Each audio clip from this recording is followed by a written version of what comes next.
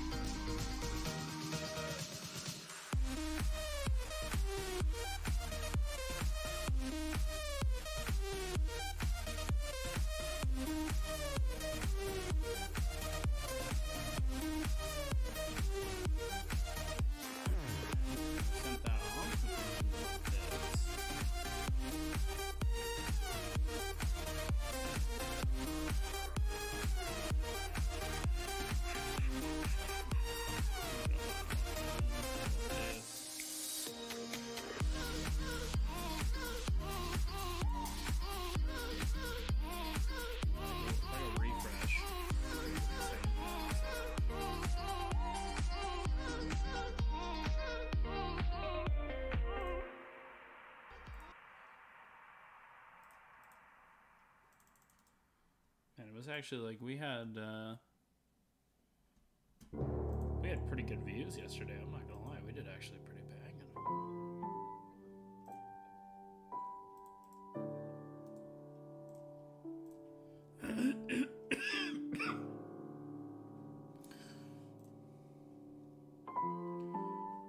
Ooh, did they? Oh, that's right. He was going to too. Yes, let's go. Oh, there it is. Oh, and it was in person? Oh my god. Ooh, now the question is do we want to watch a relevance coverage of the Hasan stuff? Kind of feel like we do. Let's, uh, oh man, he goes over everything. True, Hunter, Hunter taking the W's, man. Swear to God, we'll we'll cover real stuff on this channel one day, maybe. One day, maybe. oh, he goes. Oh, this is. Through, oh, he goes through the whole video. Oh, I don't want to watch this whole guy's whole fucking video on loud. Fuck that shit. Fuck that. Crazy how she, uh, Yeah, we'll do we'll do we'll do Destiny's coverage of it, and then we'll maybe we'll watch the Hunter, Hunter and John Doyle, Johnny Doyle, um, debate.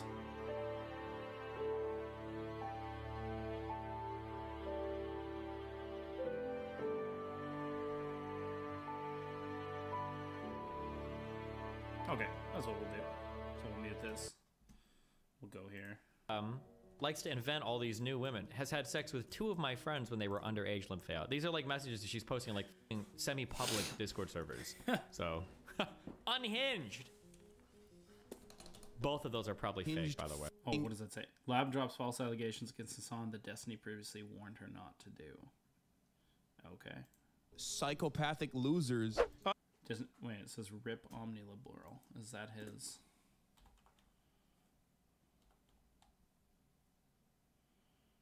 Rip.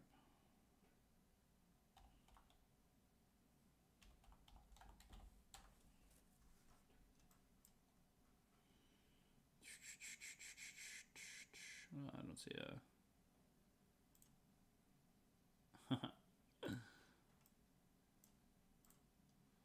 I've seen the man on Twitter in a while. Let's keep getting Uh-oh. down. then why would you? First of all, you just lied there. That first statement is a lie. Also, why did you say this?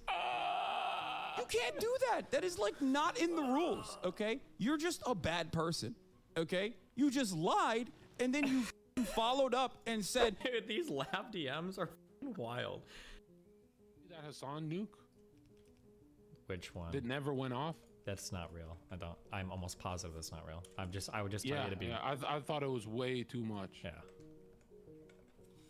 But again, why would someone say that? Because Because they're evil. because they have every incentive to. Oh, I just, I just. Wait, Did you talk to them? I I won't just, believe I you just, unless I you know for, I just know. You just have to trust me. There are a few things I would say I know, and I know this one. okay. Jones, I'm about to drop a Hasan nuke. Oh, she did this on Whoa. stream it, too. stop. Damn it. Stop Damn doing it. that. Oh, this is from this is a while back. Lav, you're gonna end your whole fucking career. What? 155 likes. Yeah, you're pretty famous now. Damn, look at you, son, getting those likes. What are you gonna do with all that dopamine? I've never had that much dopamine. That's not true, actually. Man, I can't remember what post it was that I that got upvoted for me, but there was one that I had like 1k likes on something. I think it was on uh fuck. I think it was on um I think it was something I retweeted and count or I tweeted and counterpoints retweeted me. And I think that was the most engagement I've ever had on a fucking tweet. Worst part was I think it was like for some stupid meme thing.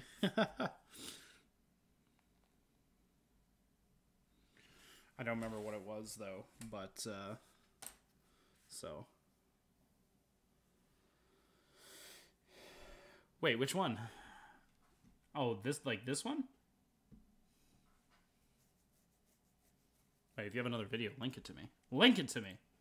On this show. shit. know. Don't More of do this. it. Not in a good way. Literally, it's not worth it. I know. So but every stop. time his name is brought up, I'm like vibrating. Stop. No, Wait, you you're not- shouldn't oh, be. wait. Stop.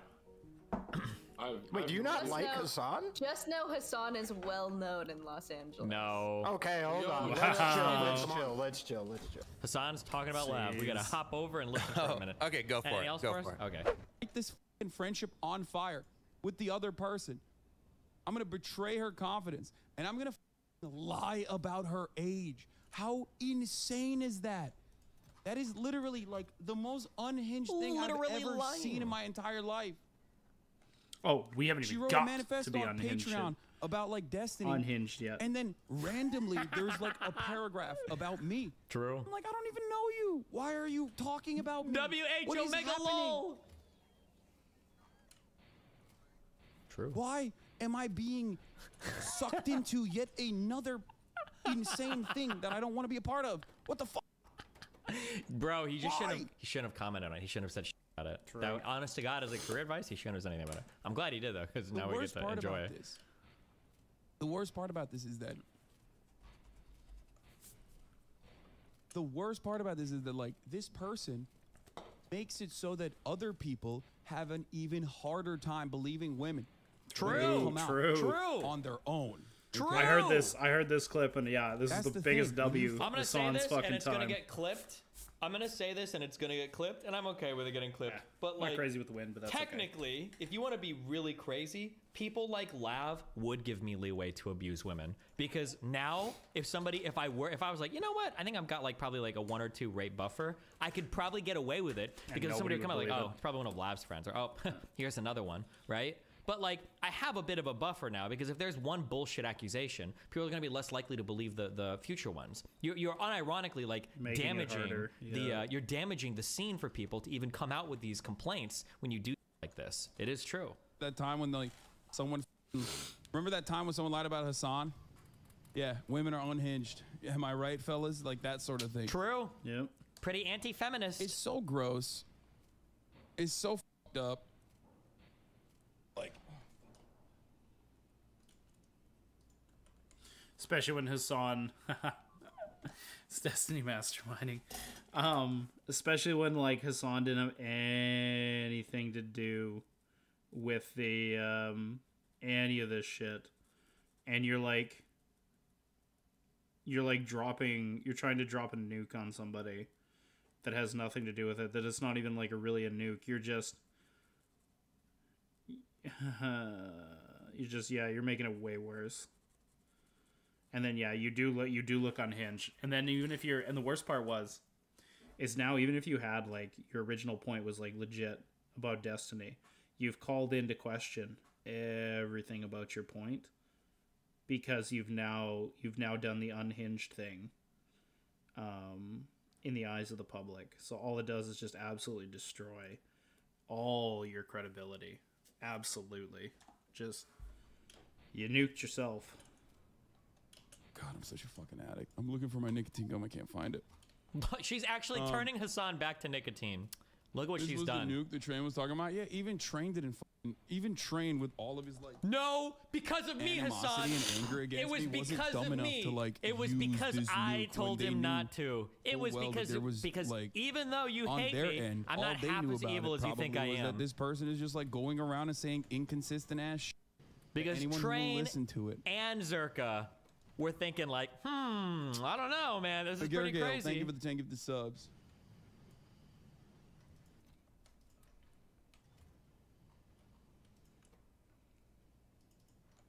Destiny is on said that this stream. Uh. Can we just say he's, he's off his nicotine? Can we just say for a bunch of for a group of people that is meant to be so sex positive, y'all use sex in the most negative, negative, life destroying way, and it blows my fucking mind. Holy shit. Even if I was single and ready to mingle, I would not engage with any person in this fucking space. Fuck that shit. Any sexual encounter that you have with somebody at some point will be weaponized against you in this space. Almost guarant fucking teed that'll happen. I mean, my general advice is probably like don't engage with really any any sexual nature inside like for a lot of the, especially a lot of the drama streamers because there'll be a time when that'll come out and be used as like a weapon against you even if you were totally in the right um which is pretty which is pretty sad and pretty fucking disgusting so Uh, Destiny has said on stream that this Hasan room is bullshit. She has no proof of anything and has a track record of being a lying. I'm guessing that this is the nuke that Destiny told Jon Zherka to ignore because it was bullshit. Yep, he just confirmed it. Like, how fucking crazy. True. Yeah, she uh, has a history of serial reporting sexual harassment allegations. How fucking nuts that these people just like literally talk about sexual harassment allegations. Like, it's like nukes. You know what I mean? Hey, that nuke is not good. This nuke is a good one. Well, you can use it whenever He you still want. finds a But way to that's- shit on you know, me over it. even Destiny's like, you know, Good one. uh, even Destiny, who sometimes will drop his uh, his his otherwise uh, charitable nature when it comes to sh- like me, even he's like, bro, that's crazy. Stop. Repost and comment for context. DGG are here. This woman was a Destiny orbiter. She had been on Destiny streams many time, many times before, and she has stated that she has some kind of nuke on. She threatens to drop it. Destiny immediately pleads with her not to do it. A few days ago, there was drama in the Destiny community, and this woman came out saying that Destiny is the Harvey Weinstein of Twitch. Says that he fucks women who come on stream, makes the community on them to traumatize them, and gets off on seeing his community traumatize women who come on stream. She didn't provide a shred of evidence to substantiate those claims. Apparently, she has also been bad mouthing Destiny and spreading insane shit about him in DMs to complete strangers she talks to on Discord. So she was banned from the community and isn't allowed to appear on streams, nor are other people who orbit around Destiny allowed to talk to her. She posts this insane manifesto detailing her experiences, where she also claims that she drops a career ending nuke on Hasan. The nuke is that Hasan had sex with someone younger than him, but it was completely legal. True. It's pretty funny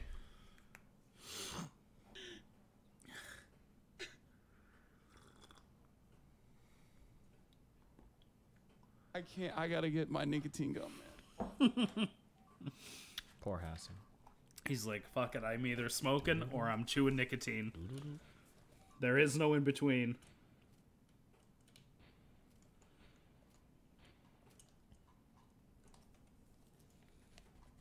it's a giga chad move i'm not gonna lie Okay, what's going on here? Wait, can I ask, is trauma dumping a clinical term? I don't know. Now, remember, yeah it's Everybody. clinically badass this person, like, I don't know this person, right? I've never been around this fucking person. I have no idea who the fuck this person is. Turns out the nuke is not even her, it's a friend of hers.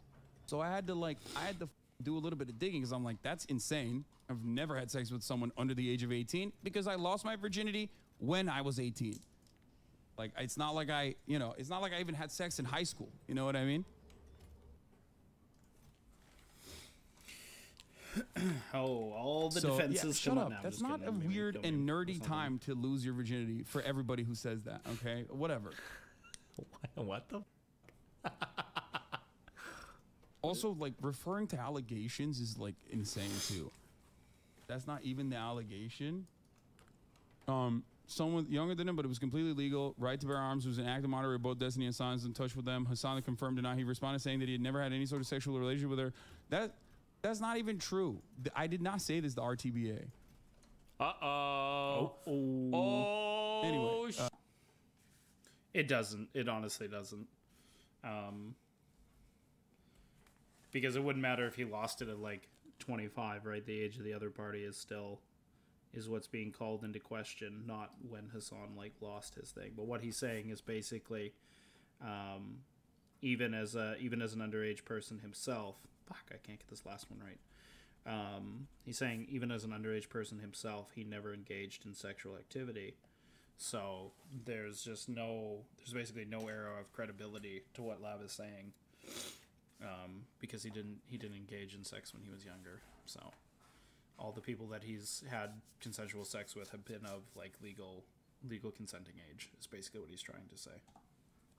like no, Like, for this exam- is- like, for is I example- hooked up with. I lost my virginity when I was 15, right? To somebody who was also like in the 15 was also 15 years old. Um, so when you when you talk about um, age of consent, the statement "I've had sex with somebody that was 15" is true, with the understanding that I was also 15 at the time, right? And that's kind of his like what he's trying to say is, hey, everybody I've had sex with was of age of consent because I was also of like age of consent. He's saying it in a very very weird kind of way, but that's what he's he's essentially saying. Yes. Also, they were 19. Also, I was, I think I was 25. It's been a long time. This was in 2017. She was not 17. Okay? That's fucking crazy.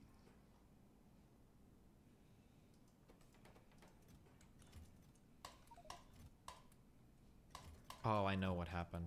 I bet. I hate talking about shit like this. I hate talking about stuff like this because it's just like weird and gross and an invasion of privacy for other people. True. I already got um, I already got uh, consent from the other party to talk about this. Immediately, I was like, 1925 is problematic though. Yeah, I don't care. Like, I don't care that that's your opinion. I'm gonna be. I'm Oh, gonna keep it a buck no. fifty with you. I, I don't give a shit that that is like your opinion. Also, it like you're literally. We're not gonna have the problematic age uh, problematic age gap discourse once again. Okay. Oh no. I personally don't care. I personally don't care. 19, 25, that's fine. Totally. You're gonna have you're gonna have sex. You're gonna engage in relationships. Who cares? Uh, I know if Quibbles was in my chat, he'd be losing his shit right now, saying it's inappropriate. But, um, I mean, you know, one time sexual encounters is a lot different than having a relationship. Oh.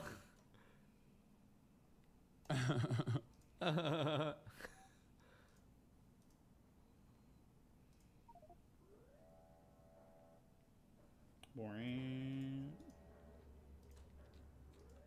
Also, to be clear, in uh, public discords, uh, Lav says there's two women. By the way, kind of crazy As how she likes relatively to. new to streaming community. I'm Wait, now she's saying there's two women. Why wouldn't she come up with both when she did her little manifesto thing? See, this is this is what I mean. Is it's just like when you keep piling onto a story. When you was, I think he's called them like micro leaks before. Um, it actually makes your story look so much worse. It looks like you're like holding information back, hoping people will believe um, the story that you're putting out, and if they don't, you leak a little bit more, and then you leak a little bit more, and then you leak a little bit more, and you leak a little bit more, and then finally, when the majority of the people believe your story, you're like, ah, see, that was really the story. all along. Um, when in reality, I would say it just hurts your credibility. Because I think if you have the story and you're going to leak it, I think leaking everything, everything all at once is the actual, the most effective way to go. So I think the micro leaking kind of makes you look the worst. Crazy how she um likes to invent all these new women. Has had sex with two of my friends when they were underage. Lymphaea. These are like messages that she's posting like semi-public Discord servers. Jesus. So unhinged. Both of those are probably fake, by the way. f***ing psychopathic losers who have only been Discord kittens and have probably been groomed by like psychotic weirdos in Discord who have never had like a human physical relationship with another human being that is a consenting adult. So they have no understanding of how relationships like this can happen, okay, or hookups like this can happen, or whatever, which is precisely the reason why they are the absolute worst people to make assessments over because they're fucking delusional. And there are plenty of them in my community, and I yell at them quite frequently whenever conversations like this come up, okay? There is no power dynamic in this situation at Uh-oh. play in any meaningful capacity. Uh-oh. Like, uh, it is just Unhinged. Unhinged. Okay, Chad, you're being gross and overcorrective here. I get that you want to defend Islam, but please do it in a tactful and respectful way. Man, shut the f- up. What do you mean? They're doing it in a gross way. This f- sick freak, this sick delusional f- freak, literally came out and on a completely unrelated post decided Oh, to just that was another thing. he did the thing. He did the meme. Um, another thing I wanted to say about this is for like if Lav is like knowingly not enjoying the combative nature of these communities, I don't know why she would go out of her way to intentionally be combative with arguably somebody who has a bigger platform than Destiny. Um because if you were if she is like if she is saying that the feedback that she was getting from destiny was way too way too much why would you seek to poke the bear that is hassan with absolutely n- like a nothing fucking burger this is like this is that sympathy thing we were talking about earlier i feel like this is like this is where like my sympathy runs out for lav um, and now I'm just seeing the consequences of somebody's actions. Like, uh, you basically reaping what you sow at this point. Um, and I think it's more like she didn't get her way. Now it feels like more like she didn't get her way with Destiny, and that's why she's being so spiteful because it's obvious that she's okay picking fights with other communities that are way larger. Um, with nothing burgers, so lie and and Literally slander me lying. and say that I did something illegal. And even in her own post, she herself said, "Well, you know, she was actually young, but like, uh, you know, maybe it was uh, legal actually." Because I saw some of the shit that she said. She was like out there fucking saying, "Where the f- was it?" She was out there literally openly stating for whoever the f- will listen to her, say, stating that like oh, what was she stating, Hasan? Tell whoever us. the f- will will will state that she was uh uh, whoever the f- will listen that she was just like where, where is it hold on Yeah, get the logs. Leak them. Leak them. We want to see. Want to see the tails. Tails being spun. where is it here I'll, I'll I'll show you what what I saw like this is from a while ago Uh, I don't know I don't know where the fuck it is but it was like he, she was in like Discord servers and shit uh literally just f***ing lying to lying, literally lying. Such a vibe shift from the Fear and episode. Yeah. Yeah, the real moral failure is sex before marriage. Oh, here it is. Here. Bro, here. Look at this. Uh oh. Femoid Jewish evil. This is from like some fing dude's Discord server. Uh-oh. I think it sounds outrage against everything is really funny because he slept with my friend when she was like 17 and he was 24. Yeah, I'm not dropping it. Believe me or don't. She's never coming forward, so I'm not either. Uh oh. Then why would you? First of all, you just lied there. That first statement is a lie. Also, why did you say this? You can't do that. That is like not in the rules, okay? You're just a bad person. Okay? You just lied and then you followed up and said, I'm not coming forward with it. She's not either. If I would, I could believe me. NDA. Also a lie. Also a lie. I literally asked her, I was like, was there an NDA involved? Like, what the is this? Like, you know, are you. Are you Oh, you mean Hasan's been messaging the per like he knows who the person is? Oh no. Decimated. Decimated. Absolutely no credibility left whatsoever. Ugh. Ugh.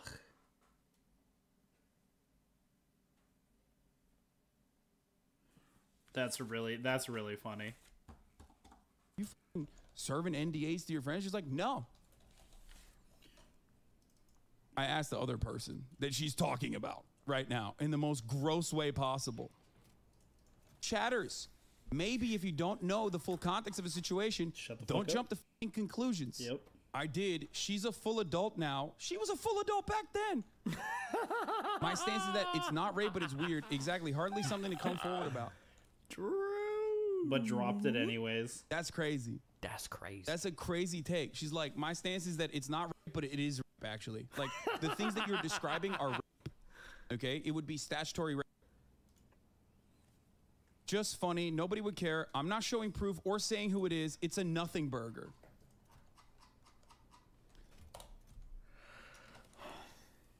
Ah. I feel like the Christian Bale, the thing now. That's what I'm feeling. This was like months ago. Apparently. Wait, is that a meme? Like the Christian Bale, like American Psycho? What is insane about that? What is insane about that is that this person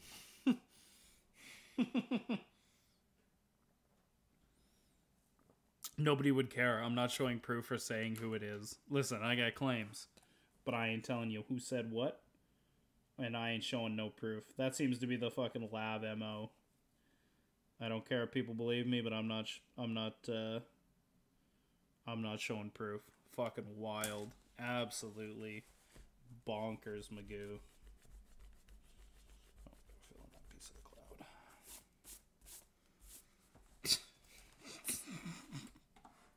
Is literally using, making up false allegations about someone that we both mutually have known for many, many years. Okay? Just to try to get back. This is the most insane part of the story.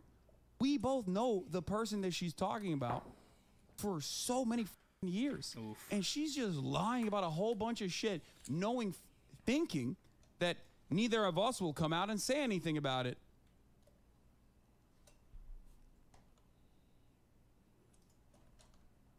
There it is. That's the internet for you. Check Lav's Twitter replies. Uh oh. Dude, she's about to get. Now she's about to feel like what it's really like to get blown the f up. No shit.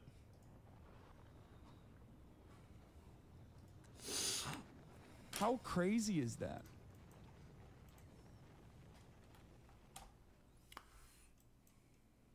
Wonder what she's been. Wonder what she's. uh Wait, did she? uh.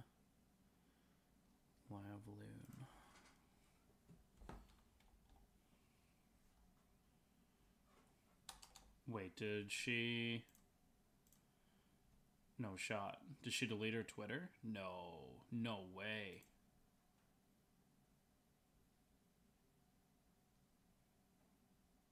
Lav L U N L U N E E.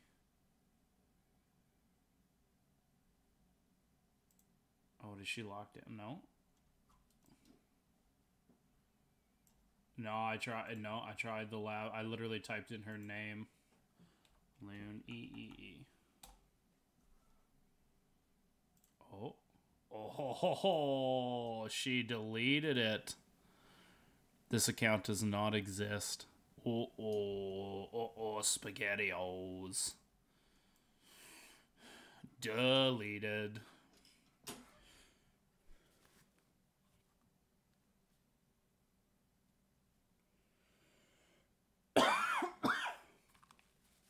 That's wild. Excuse me. It's like, dude, what the f- are you doing? like, what, what are you doing? Did you reject her in any way? Maybe she's a woman scorned. I looked up. I, I didn't know who the she was, so I looked up at our DMs, and I did find that she had reached out to me in uh, in, uh, in in on Instagram like a while ago. Uh oh. Oh boy. And no, I did not respond to her after a certain point. After a certain point, uh oh. Probably nothing happened. I don't want to show you because like she mentions our mutual friend's name on the Discord DMs. Uh oh. Oh. Or not Discord, sorry, Instagram. Blackmail. But you are right on the money on that. How crazy would it be if Lav tried to blackmail fucking Hasan? Holy shit, that'd be fucking insane. She could have said she would never wear a Hawaiian shirt on Insta and gotten more clout without backlash. Yeah. There always is a fucking DM out there. It's it's another Mitch Jones moment. Hold on. Jones, Jones. She like come unprompted. Jones. sent me a DM. On, Mr. Jones. She sent me an unprompted DM, and I looked at her story, and she was in the bathtub on her story.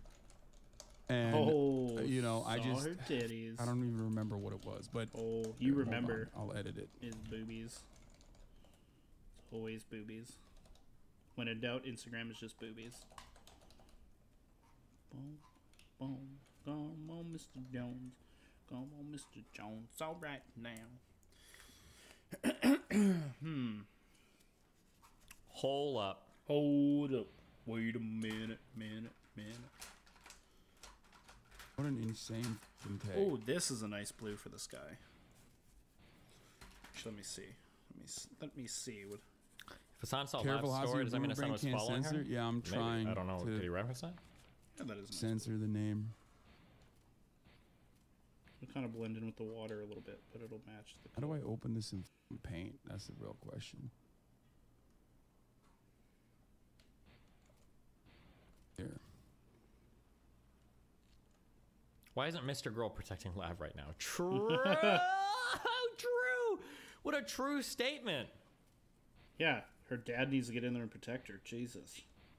Why is Lav go- going after Hasan? It's so random. I have no fucking idea. It was so stupid of her to include that. Was pretty dumb. Okay. But it, like, here. like I said, it goes it goes back to that idea, honestly, that she has no problems, um, wanting to fight with bigger communities. So, here. Because when I found out this was the person, when I found out this was like a person saying insane shit, I looked her up. I was like, who the f- is this? Do I know this person? And I looked and I found that we had DMs. Okay. Oh, he was Like that she flirty, had DM'd me. RTBA. You. and um, I'm saying like impressive. What other hidden skills you have? I'm like a little flirtatious. I have the power to get random men and DM, Nice I DM job, from the bath to flirt with Get me. shot the with power comes great responsibility. I hope you're using it for good. Unfortunately, I'm not. I'm wreck. I'm very reckless with this power. are you using it appropriately? Fuck no, I'm reckless. Power. So far, so good, to be honest. Good to hear I'm not this up. I think we accidentally met in 2018 while you were on a FaceTime with Bleep. I feel like I'm not making this up. It was brief. I haven't even an ounce of. I haven't even an ounce as hot as then I am now. So you're off the hook if you don't remember. Okay. And I think then she like asked me about. Oh, Okay, so yeah, a little bit of flirting, like ah, you know, I wasn't hot, I wasn't hot then. You wouldn't remember me. I'm fucking hot now. You better fucking remember me now. Um, okay, that's that's a little that's a little weird. That's a little strange. But hey, flirter's gonna flirt. I get it. hold on, let me We gonna see. flirt? I'm gonna be honest. I don't know why he would show these DMs. I feel like I don't think he's guilty based on everything I've seen in the background, but I feel like this makes him look weird. Like as soon as she brought up that friend's name, now he stopped responding. Isn't that a bad idea? A little or why bit, would she? Why would yeah. he? Doesn't that guy? Oh no! Don't throw us on. What the fuck?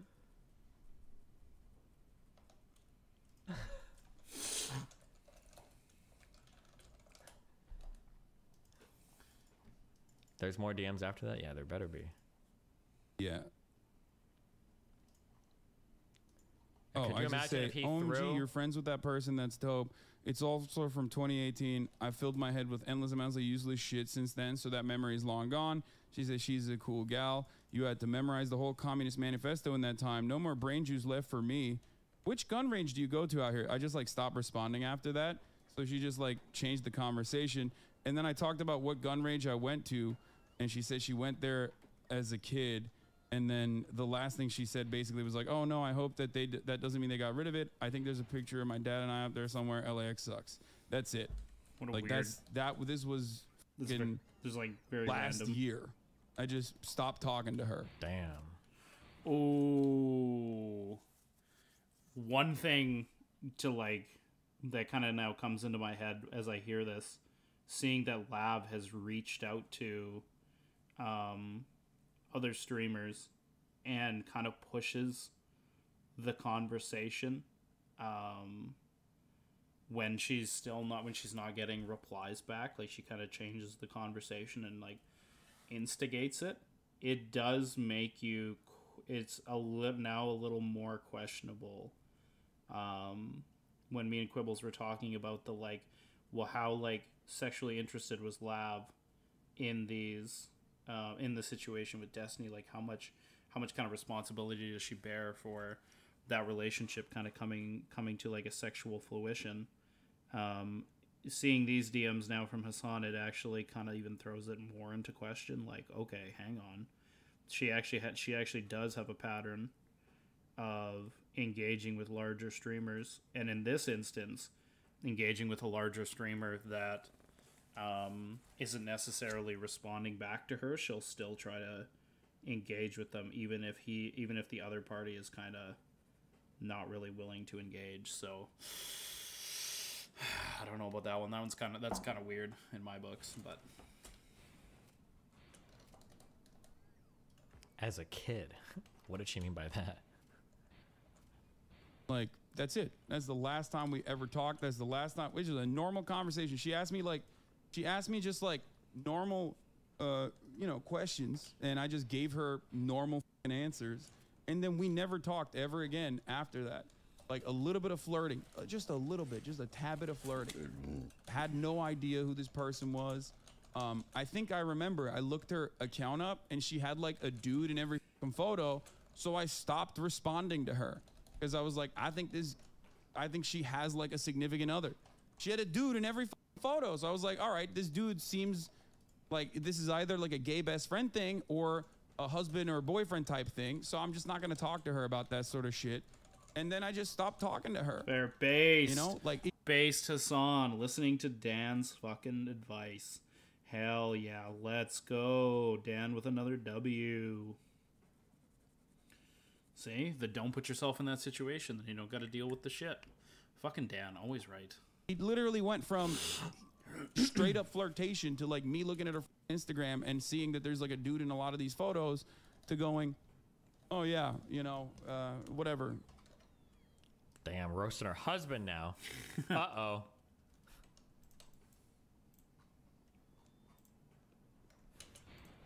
Yeah.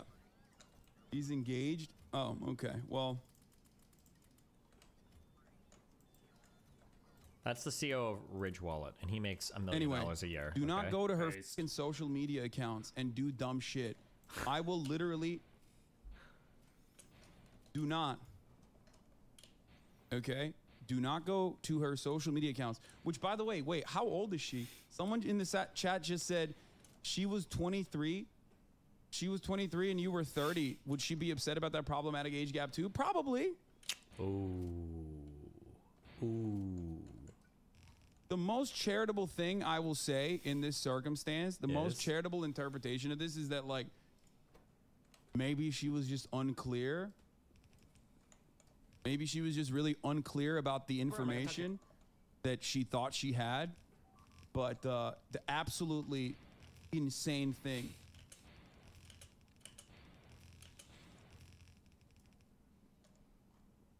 Unhinged, guys. And insane. And whack. Whack. Super whack. Okay, is that it? Is that it?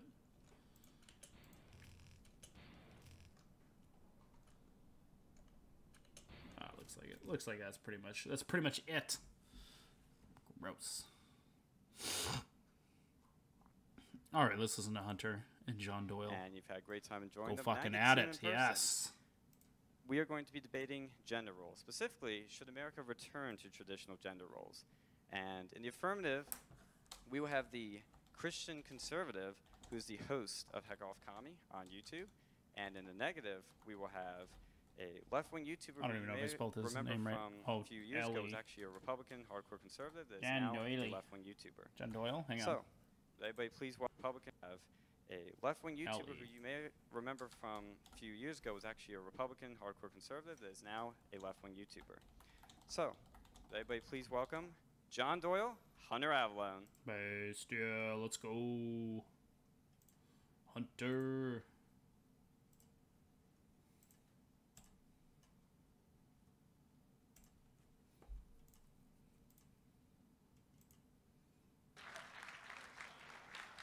Oh, this is oh Pixie, yeah. Woo-hoo. Yeah, woo. Now, before we start, I just want to quick the debate rules for both you guys. We will be answering the question tonight: Should America return to traditional gender roles? You'll each have a 10 minutes to give an opening statement, but you guys agreed that he would do a 15 one and you would do a five-minute closing statement uh, at the end. So we will have two segments and a crossfire in between. The first segment, each debater will get five minutes each, and then another round, five minutes each, and then we'll go to the crossfire. Then we'll have a second segment where we'll have five minutes each again, another five minutes each to respond, and then we'll have 10 minutes of closing statements per debater. There'll be a 20-minute Q&A at the end. All questions are welcome, and anything's Ooh, uh, all up for grabs. Yeah. What We'll have for start a line right this here. Oh, and that's too th- that'll be everything. there are no on you. prepared notes, but you can prepare your openings, and you do have notepads that you can write anything you want on. So, without further ado, John, let's kick things off. We are testing the audio. Can't hear it. Is that a yes? No. Very good. Well, good evening. Uh, I would like to thank everybody for coming out this Oh, evening. Lord, Even those who came out in the in the protest to protest against Hunter and myself, the two cis white men. You know, these are the real revolutionaries, right? It gets a little bit cold out, and all of a sudden, fighting the fascists isn't so appealing. But these are the people who would have held Stalingrad, right? No, but Hunter and I, you know, we had a real uh, sort of Venom and Sandman moment behind behind the stage. You know, I was like, look, What? You want to kill the SJWs. I want to kill the SJWs. Together, they don't stand a chance. Interesting. Okay, look, it's uncensored America, right? If you don't have like a playful death threat here and there, is it really free speech? Probably not. But anyways, uh, this is the most professionally organized event that I've ever done, and I know that Hunter said the same as well backstage. So thank you to Uncensored America for putting this on. Thank you, of course, to the security for putting this on. Can we get a round of applause for them for doing such a fantastic job?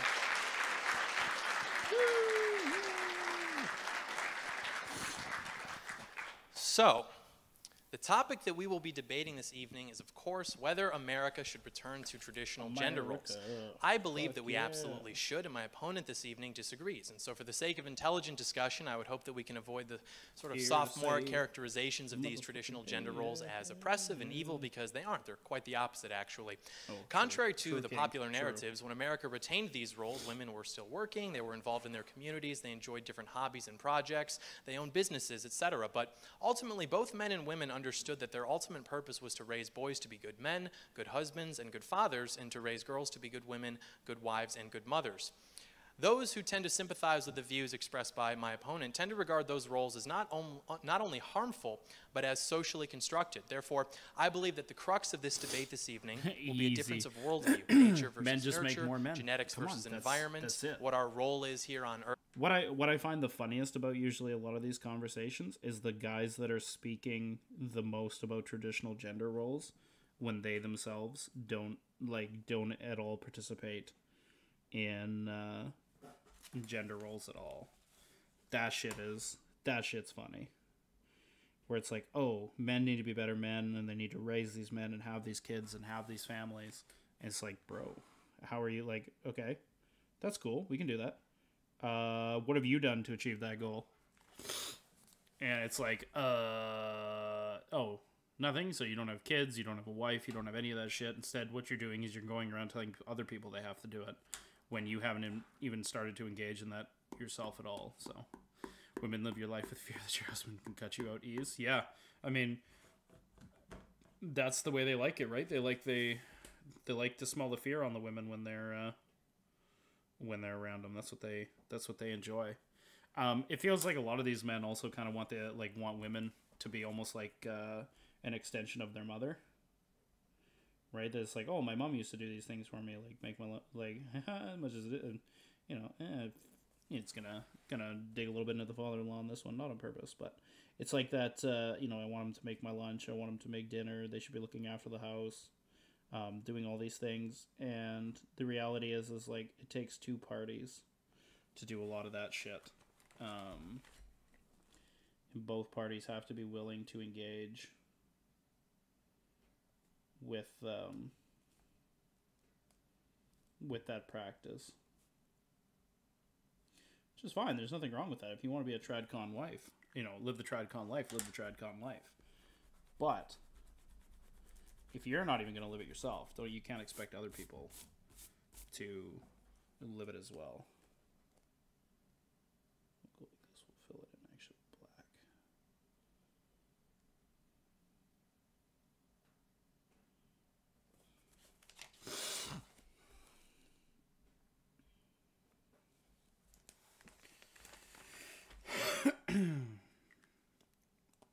Not sure what to do for the top and the bottom. I was gonna do like a city.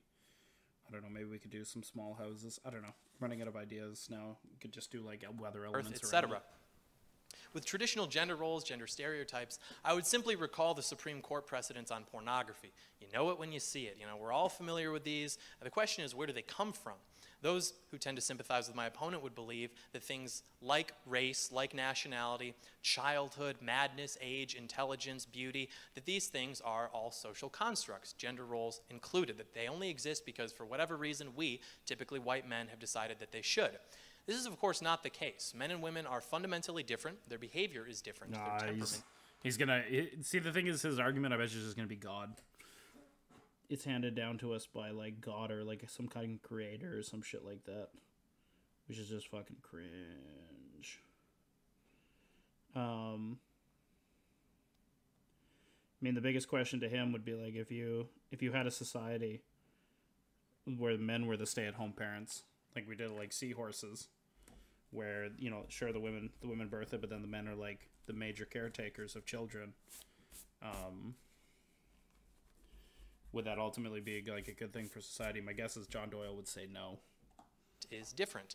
And this is much more related to their That would be biology awesome. than to their environment. Behavior Yeah, is I agree. biological. Think about what gender role even means. Gender as a word containing the prefix gen, like genesis, generation, generate, meaning coming to be, followed by der, like dermatology, taxidermy, referring to skin, referring to flesh. So gender literally means your biological role in coming together and creating He just word associate himself into like referencing the Bible. Man, good for him.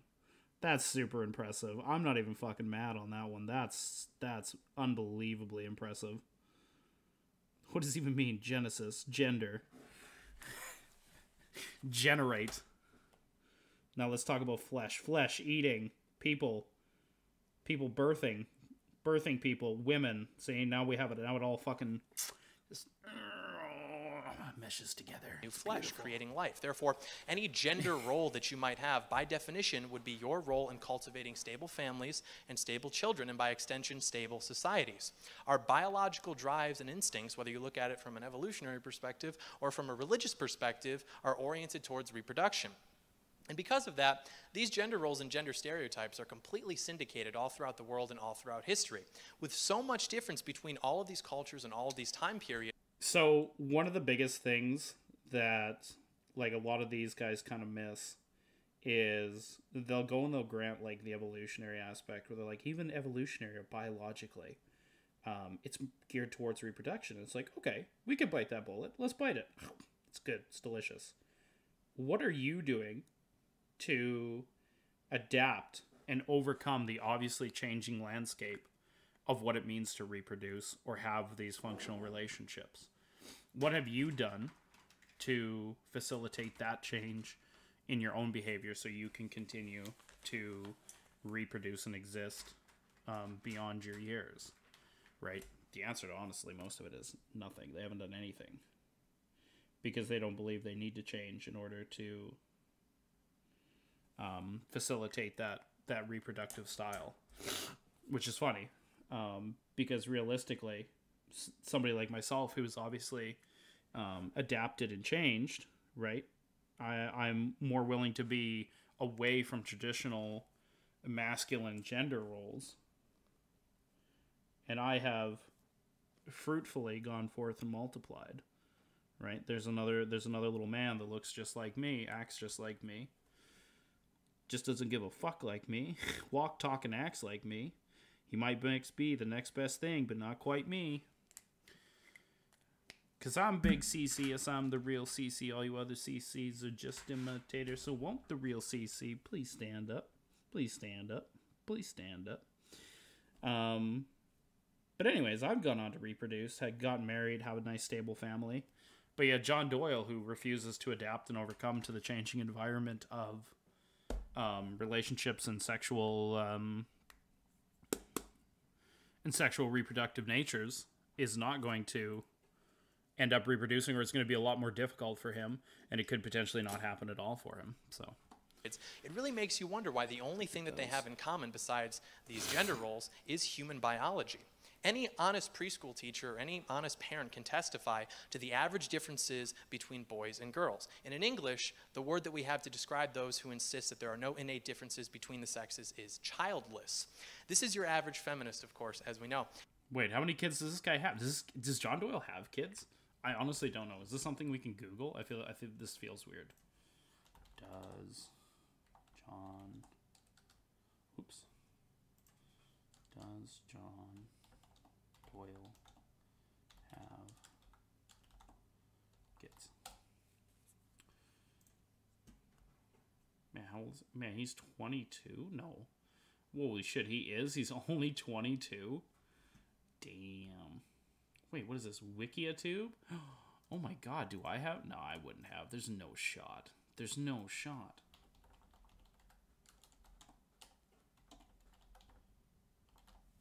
I always love Googling myself. Oh, no dice. Good. We're not in the public sphere yet. Personal life. Yeah. John grew up Twitter. Okay.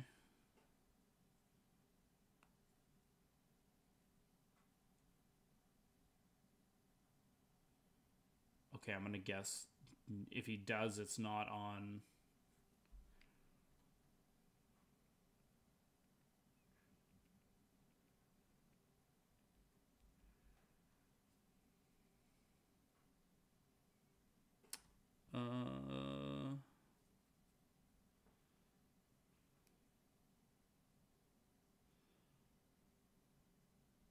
Okay, I'm gonna assume not.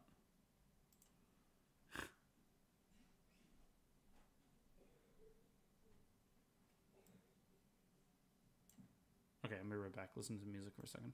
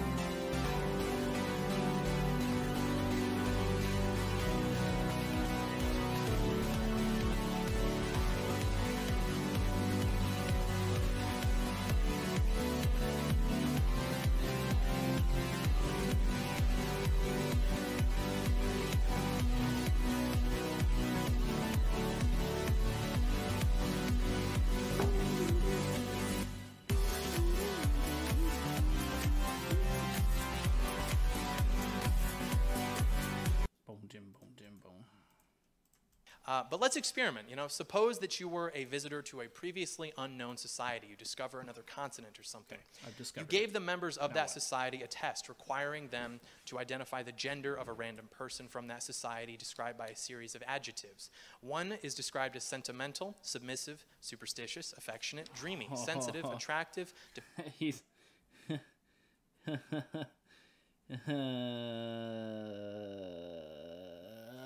he's almost like he's ah, he's almost countering his own opinion. Because realistically, in that other society, if they were to then bring you a man, would you agree with them that that's a man? Because at that point, if you were to describe the traits that were like that you would list towards a woman, but you went to a previously uncontacted society and they brought you a man, holy fuck, it would throw his his his head would explode. Dependent, mind emotional, fearful, soft-hearted, and weak. The other is described as adventurous, As dominant, forceful, independent, strong, aggressive, autocratic, daring, enterprising, robust, stern, active, courageous, progressive, meaning continuing, rude, severe, unemotional, and wise. What is the likelihood that the members of that society will identify the former gender as male and the latter as female? Well, a cross cultural study of gender stereotypes conducted by John Williams and Deborah Best suggests that the answer, the answer is virtually zero. Respondents in at least 23 of the 25 countries studied uh, associated each of the first set of adjectives, each individual one, not just all cumulatively, um, with females, and the second set with males. Moreover, since gender roles are inherently sexual in that that is what unites man and woman, insight into the truth of these can be found through what each sex is attracted to See, the question is, my question to John Doyle is, why do you have men that can fill traditionally feminine roles in society, and why do you have women that could fill traditionally male roles in society? What is it that gives like the women this this like magical power, um, and what is it that gives men this magical power to do this? Um, for some of these roles because that would be that would be a curious question for him is like okay that's fine. But you have you you must admit that we have um women that can fill these roles and men that can fill these roles so in a mate. If these roles are socially conditioned, then it should make no difference, especially not throughout the world in cultures that don't have our level of Western enlightenment. But evolutionary psychologist David Buss studied mate preferences in 37 different cultures over five years, and he found that women's and men's ideal mates were stable and differed very little by culture. Whether women were from Iran or Vietnam or wherever else in the world, they valued material resource, social status, and ambition in men much more than physical appearance. And I bet you can guess what the men valued which was them being young and physically attractive. Moreover, once the designers of the study knew what an anonymous once again this isn't this isn't really articulating that this is um like that this is biological or some aspect right especially in a very interconnected society all this shit like it's it's kind of expected that you would have cultures bleed over right because what he said in his original statement was like we have an uncontracted tribe and we ask them well all these places that are studied have all been touched by everybody else's culture right? Especially american culture. So if you have america that is like highly all about looks and shit of course you're going to have other countries um, that are going to be all over looks. And not only that there are women that enjoy men for their looks right more so than they do for their no i would say that it's it's probably equal. There there are women there that look for men um, with their looks but the resource part is a big thing too. Honestly god i don't really enjoy i wouldn't enjoy dating a woman that was incapable of looking after herself whether it's like like financially um, or just like socially or um, whether it be just like in general right? Like i'm not looking i'm not looking to be like a woman's fucking caretaker and i'm not looking for a fucking caretaker those aren't the relationships i want to engage in um, but then again i guess i wouldn't really be stereotypical masculinity type stuff person's so. preferences or ideals were in a mate, they could predict the sex of that person with 92% accuracy. Sounds to me like no matter where you are, women want confident providers and men want beautiful women. And we that 8% is still pretty big john like that 8% is huge you're talking about 8% that don't fit into the into those categories right and the question would be is that shit going to grow over time Sorry, I wonder why pausing a lot. feminists are mad. So, what is attractive in males and females is attractive because it implies how they will suit the role that we desire them for. Desirable traits in males imply the role of the provider and the protector, and desirable traits in women imply the role of the mother. If our society is to have a future, then it will require men and women to get together and have children. And if there are roles and behaviors Yeah, that we are biologically predisposed to pursue, then it is better to away, pursue brother. them than to fight reality and just be miserable. So, those like my opponent will have to explain why Western social constructs actually have a greater impact and syndication on the world and can explain this better than simple biology and why this has been the case for virtually all of human history. Why has there never been a matriarchal society? Were all the men throughout the world just sending letters back and forth with notes on how to oppress women? No. Male leadership is rooted in biology. But despite our universal awareness of these traits, we're told that they are stereotypes, which is to say, it's bad to recognize patterns. Despite this, Stereotype accuracy is actually one of the most replicable effects discovered in social psychology. Sure, stereotypes may be bad if we're all taught that people on like Mars are a certain way, which causes us to think inaccurately of them, but men and women interact with each other constantly for their entire lives. And the idea that the average person would ignore Maybe a not so much in of your audience there, John experience Doyle. just to subconsciously uphold some sort of unfounded myth just simply defies belief. Most studies of stereotype accuracy have shown them to be accurate generalizations relying on probability rather than category, meaning acknowledging the existence of tendencies can coexist with acknowledging the existence of outliers. For example, there's an overwhelming empirical evidence uh, of se- sex differences in temperament.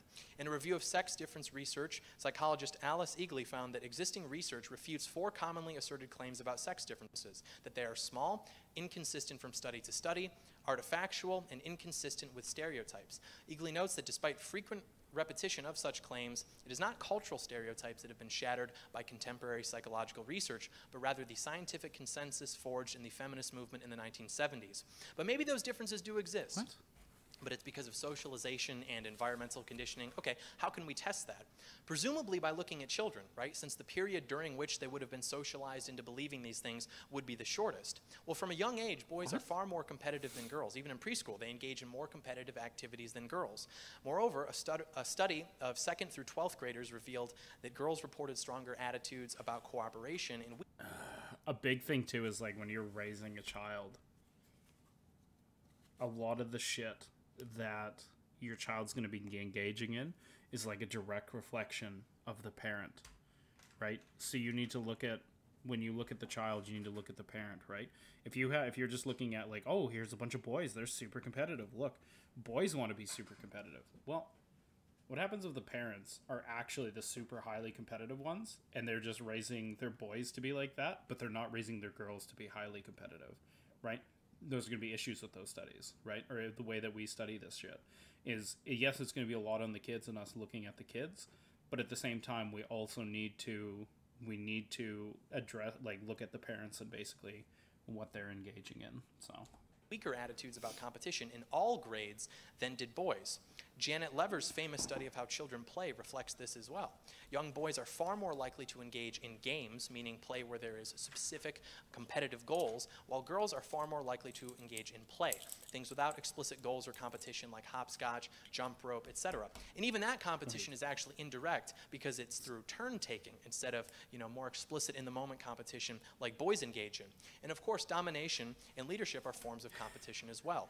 Like once again, though, if you have parents being like, "No, you're not allowed to play hopscotch. That's very feminine. Go play fucking football," right? And then you're like, "Oh, look, that boy's like super competitive. He's playing super competitive sports," and be like, "Yeah, because he was, he was pushed there." But okay. Dominance behaviors are those intended to achieve or maintain a position of high relative status, to obtain power, influence, resources, all the things that women want, etc. And studies have shown that when children get together, even in preschool years, dominance hierarchies emerge spontaneously.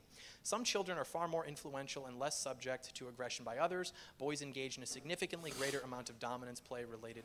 Um, than girls do, such as playing with weapons, engaging in rough and tumble play, uh, and then also in mixed sex groups in nursery schools, boys end up disproportionately at the top of the classroom hierarchy. This is very important because little boys and little girls are basically equal at that age physically. So if male dominance throughout world history is only due to this later developed strength, you'd expect there to be a delay in these behaviors, but there aren't. It's instinctual.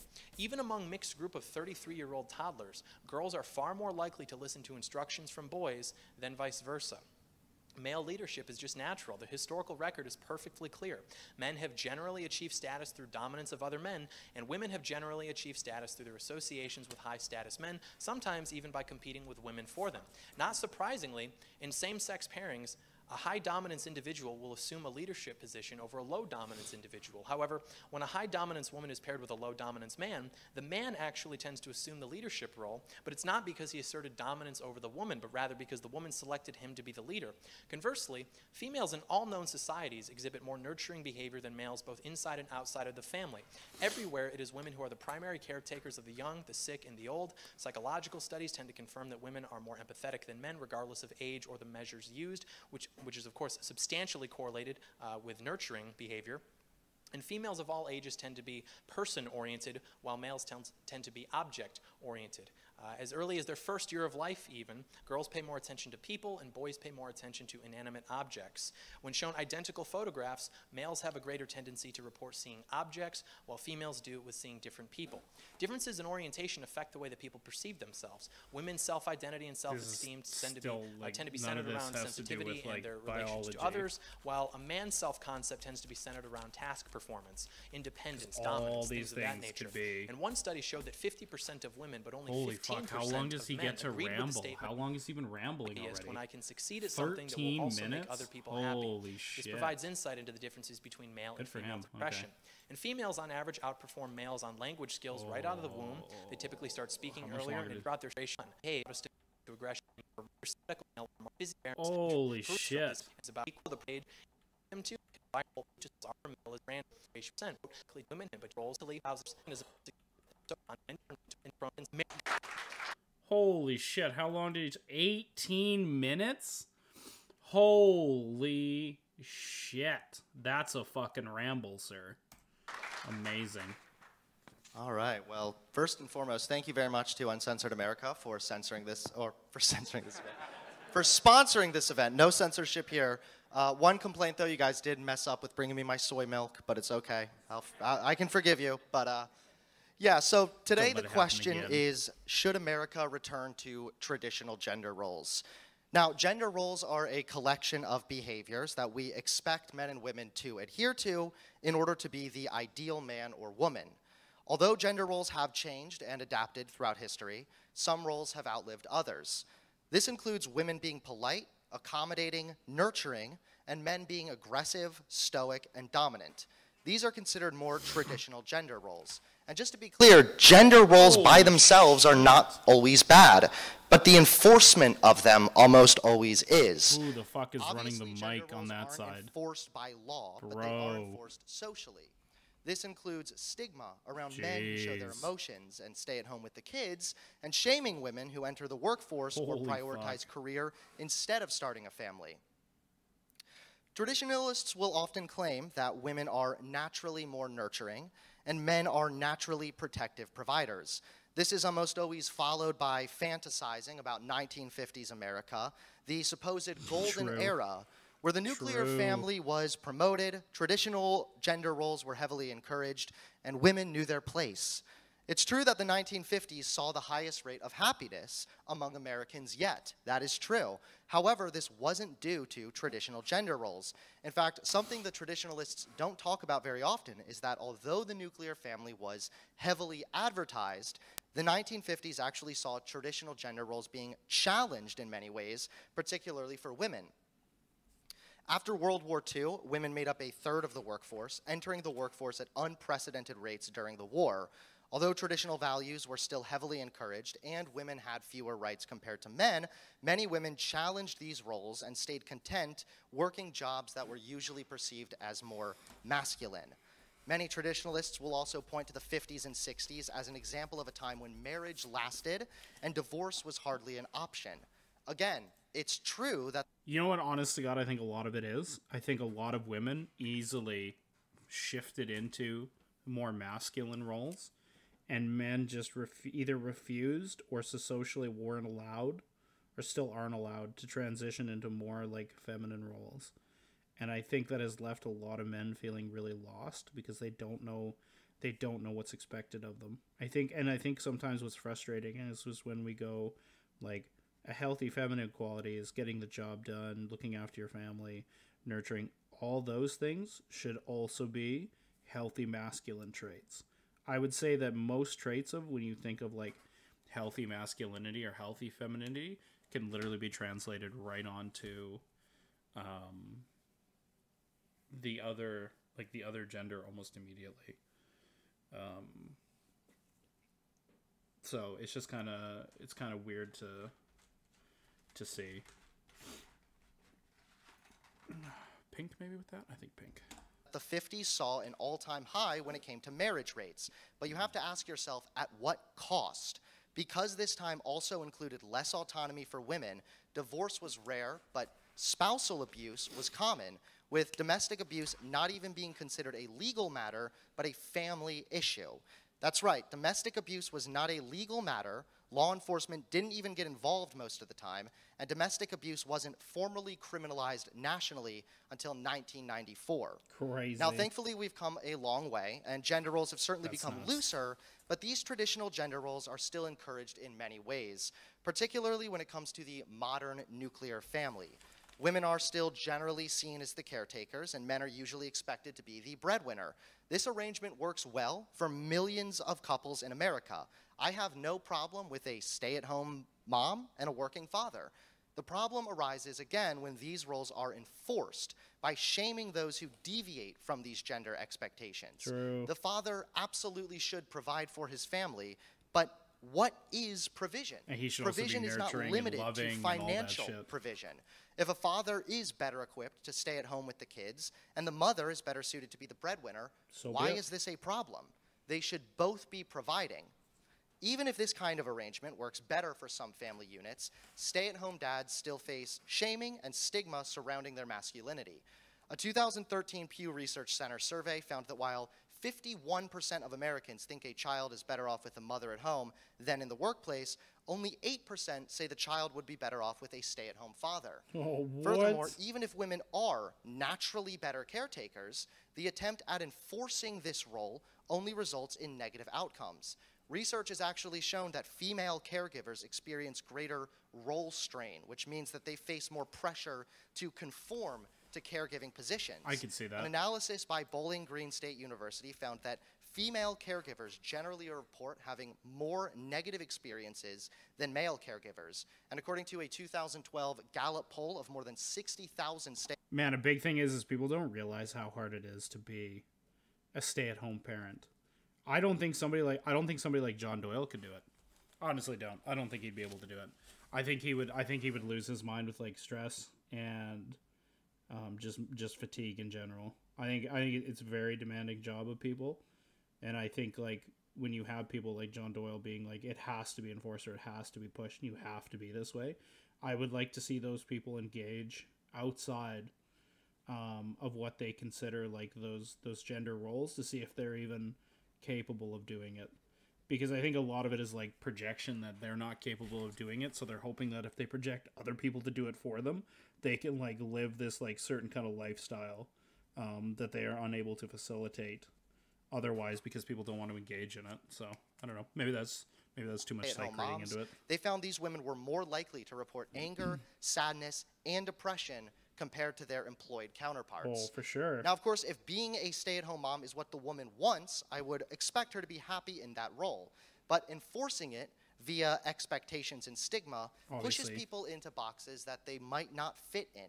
Even more so, the attempt to enforce traditional gender roles actually harms a huge goal of traditionalists, which is strong and healthy family units.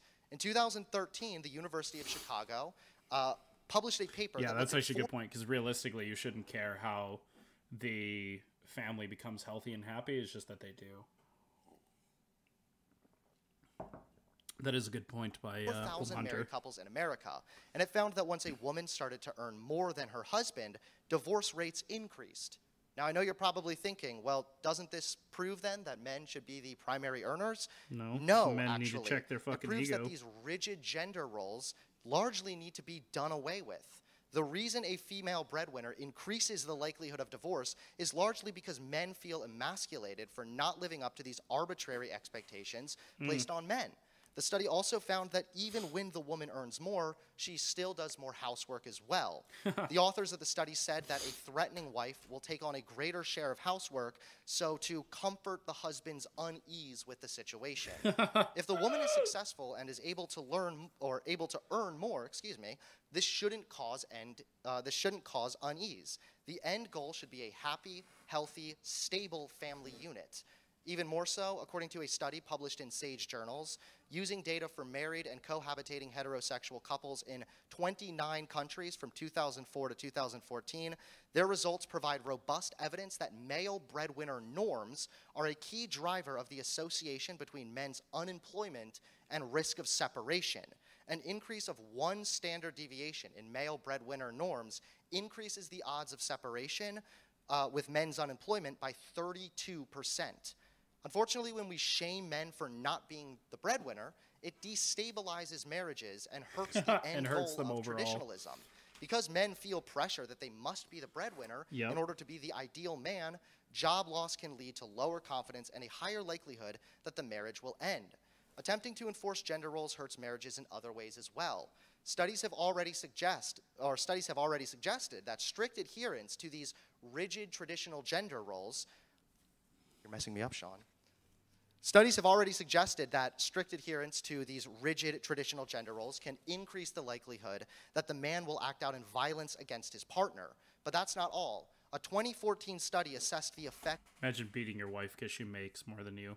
Fucking cringe. Cringe. of masculine discrepancy stress, which is a form of distress arising from perceived failure to conform to socially prescribed masculine gender role norms on intimate partner violence. Results indicated that masculine discrepancy stress significantly predicted men's historical perpetuation of intimate partner violence. Abuse of any kind is one of the leading causes of divorce. The more you shame men for failing to live up to your preferred gender roles, the more likely it is that that man will harm his marriage and destroy, or excuse me, harm his partner and destroy his marriage. And none Damn. of that is very traditional. Gendered expectations that men should be stoic, viewing emotions as a sign of weakness, is, incredib- uh, is incredibly detrimental to men's own mental well being. There have been many times throughout history when crying was specifically perceived as masculine, but that's far from the case nowadays. Unfortunately, this expectation uh, leads to repressive coping styles and an increased likelihood of suicide. Now, I'm not sure how you could live a traditional life or raise a traditional family if you're dead. Today in the Ooh, U.S., men are true. significantly more likely What a to die by suicide than women. Perhaps by acknowledging how enforcing these roles on men negatively affects them, society can help to alleviate this devastating reality. If gender roles work in your own relationship, that's cool. But don't try and force these roles on others to appease your own desire for a traditional aesthetic. Marriage has been proven to lead to higher rates of happiness and a longer lifespan. If you value marriage, recognize how these gender roles can impact the family unit, and it's crucial for a happier future. In fact, according to research published by Brigham Young University, couples with an equal partnership report more stability in their marriage, less conflict, less dependency, and less resentment. True. True. expecta- I I would say that me and me and Sam we have a pretty a pretty equal marriage. Um, in terms of like being able to make decisions. I don't care if she makes more money. Like we don't really care as long as like money and bills are coming in. That's all that matters. Or bills are coming. We want more bills.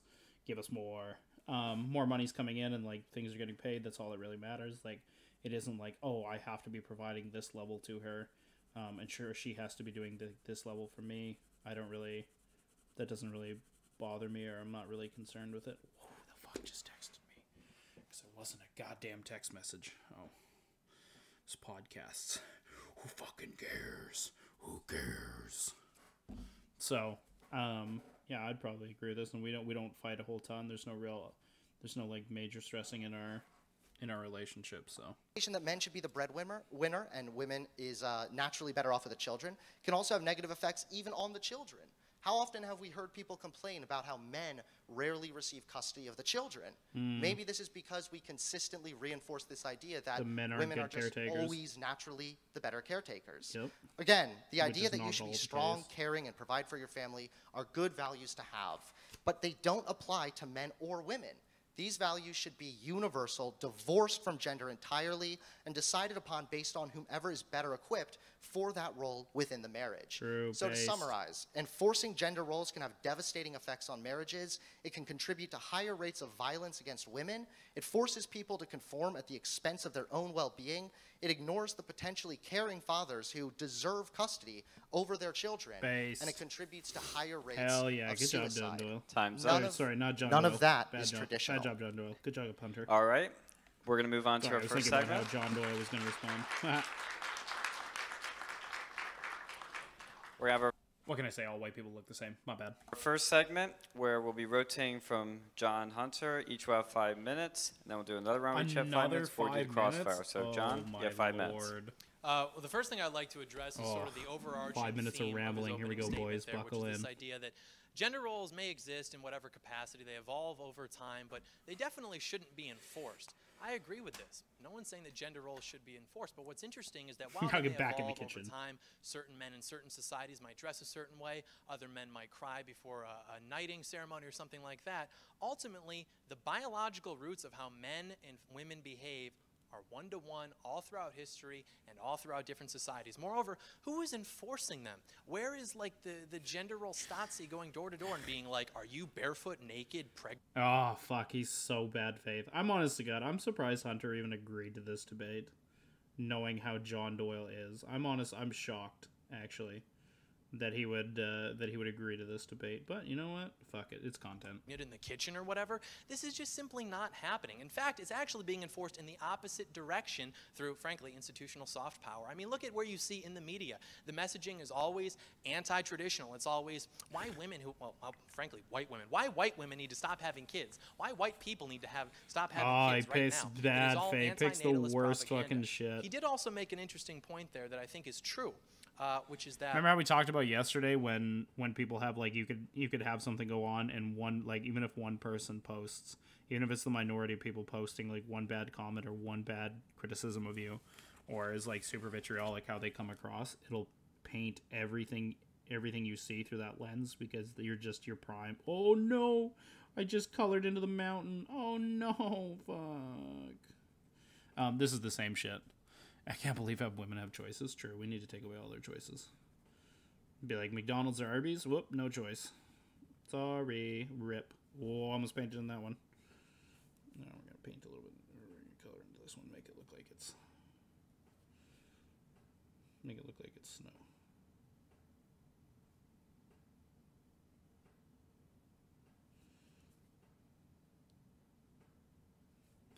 There, makes it look like it's ice. it is more difficult now to get married. This isn't necessarily because tradition in itself has failed, but because Two of more things holes like to fill, economic structures, uh, offshoring a manufacturing base. It is true that what we had in the 1950s Man, it's looking banging though. Look at that fucking thing. That's fucking based. That's probably my favorite picture so far. It's actually it's fucking ballin'. But I don't know how to I don't know what to finish. I'd like to finish the two the two side pieces off is like maybe space. But I don't know what these two is not what we have now, and that is a problem. So this is sort of an abstract discussion um, in that regard. Another thing that he mentioned there was less autonomy for women. I would be curious to see how that's defined. What does that even mean? Like, yeah, if you are legally enshrined via some document that you are married to this man, sure, there's going to be a little bit of limitations on that behavior, but I would be curious to see why that's inherently bad. Also, domestic abuse. Careful. Who defines that? I mean, there is often a lot of embellishment. Who really defines beating your wife? that goes on in these cases. Obviously, no one here is for domestic abuse, uh, but I would be curious to see what that was actually looking like back then, because you can look at it from what was legally allowed and what was legally not allowed. But in terms of the actual incident, Okay, let's let's uh let's go. Hang on. Let's take a quick let's take a quick tangent, chat. Was it legal to abuse your wife? USA, 1950s. During the 1950s, there were no laws to protect battered women, and assaults on women were not considered as crime. uh, yikes. It is hard to believe that women only 60 years ago were still viewed and inferior to inferior to males and had little no rights to protect themselves. When men returned from World War II, some men resulted to domestically violate as a way of punishing their wife for something she did and to affirm dominance that previous that he previously lost. Assaults were inflicted on women during the 1950s were seen as a part of male aggression as something that is normal. Women who did report crimes were viewed as being the actual perpetrators and the assault was actually their fault because they were unable to defend themselves? No way.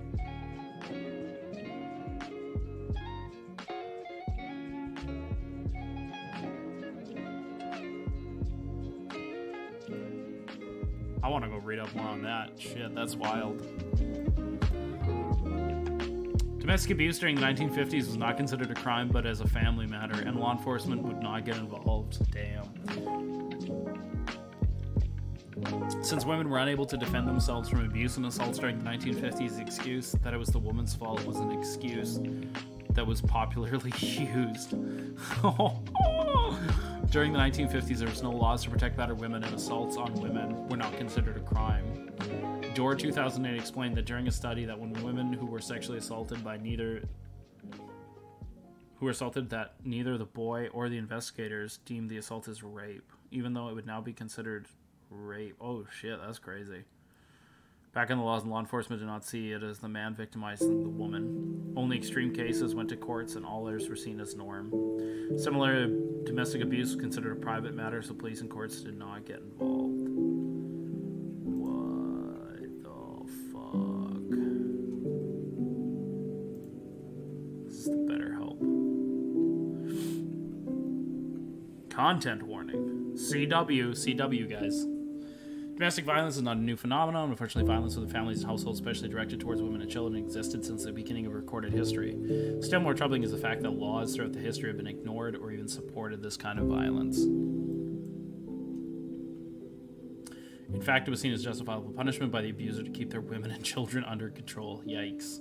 Domestic violence, also called intimate partner violence, involves the physical, sexual, financial, emotional abuse of one person by another in order to intimidate, humiliate, or frighten and therefore maintain power and control. In modern times, we've become far less tolerant of domestic violence in our laws as well as our attitudes. However, as a society, we are burdened by the hundreds of years of negative precedents. Some culture and belief systems in contemporary American culture still harbor troubling attitudes about family relations and domestic violence. Even more alarming are the statistics. it probably did. Honestly, I would have to go look, but uh, you're, I, I would not be shocked, especially for America. America. The National Coalition Against Domestic Violence reports that one in three women and one in four men have been victims of violence. That's crazy. That's super high. Holy shit. That's bonkers.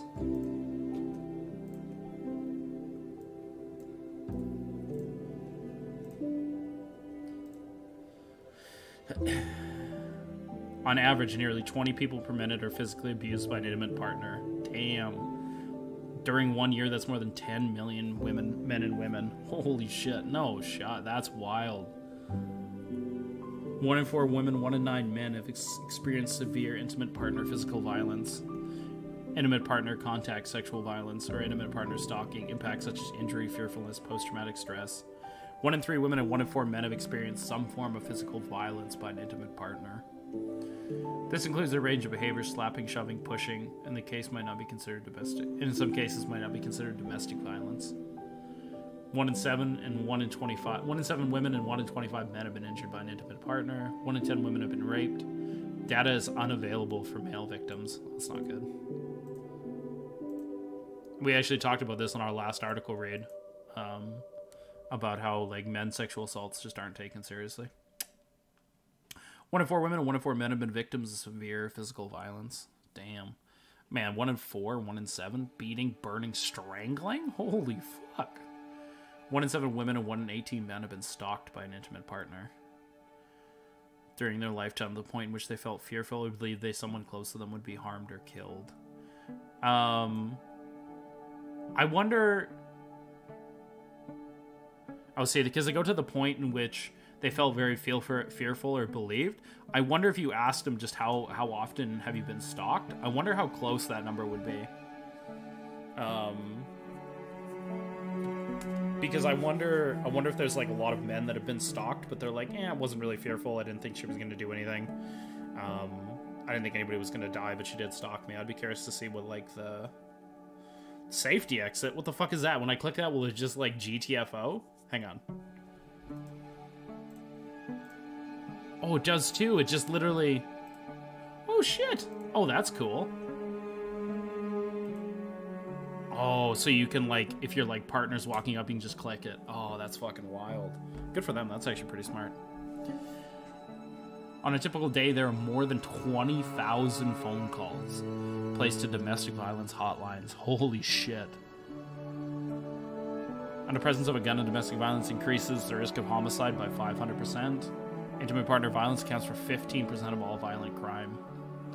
Women between the ages of 18 to 24 are most commonly abused by an intimate partner. 19% of domestic violence involves a weapon. Domestic violence is correlated with higher rates of depression and suicidal behavior. Yeah, no shit.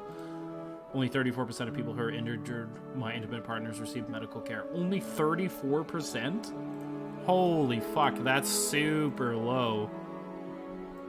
So what does that mean? That means 66% aren't receiving medical care? Damn. That's wild. That's a lot of fucking people.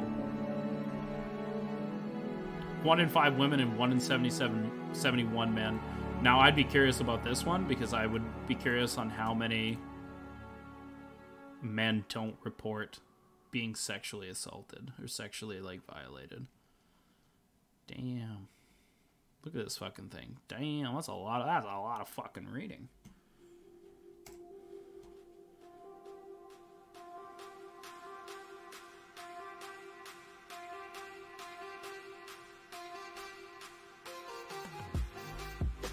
Who's the highest? Alabama. Nope, never mind. Oh, why wouldn't you do? Why wouldn't you do top to bottom? What is the biggest one here so far? Saw 24, 25 Michigan. Oh, that's way. Oh, okay.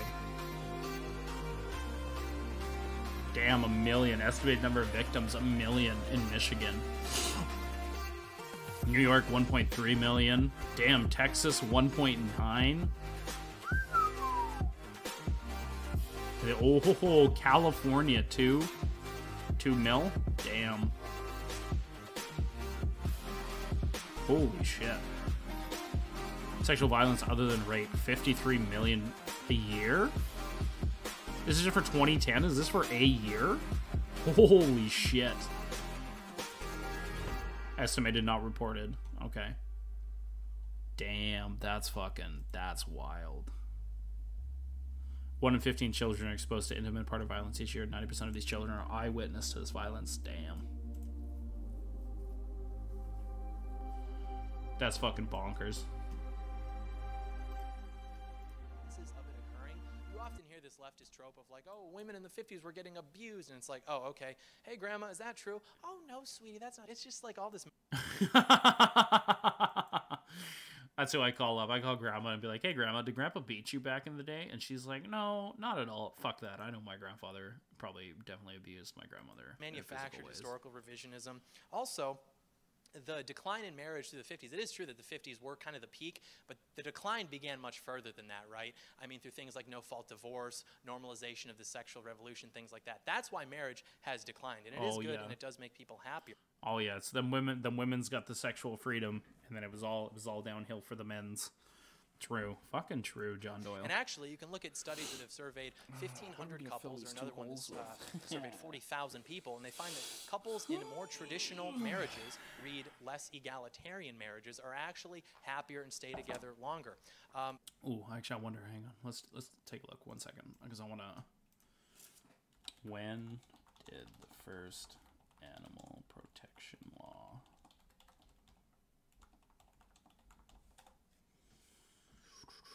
oh, 1933.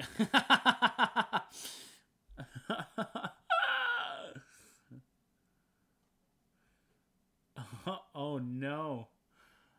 Oh no, but that was Oh no. Do you want to know where it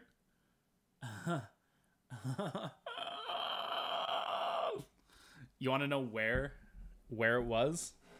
The first law, according to Piper, was passed in 1933, not long after the Nazis rose to power. I don't know if that's now that's just might be that just might be Germany was doing it. Um, also passed laws to protect animals. Matthew Piper uh, recently graduated U of G with a Master's of History, became intrigued by the apparent contradictions, and made them the focus of his thesis. He successfully de- defended in January. Good for him. The first law, according to Piper, was passed in 1933, not long after the Nazis rose to power. Under the Animal Protection Act, it was forbidden to mistreat and handle animals in a way that would harm them. Holy fuck. Well, if that just doesn't fucking blow your mind.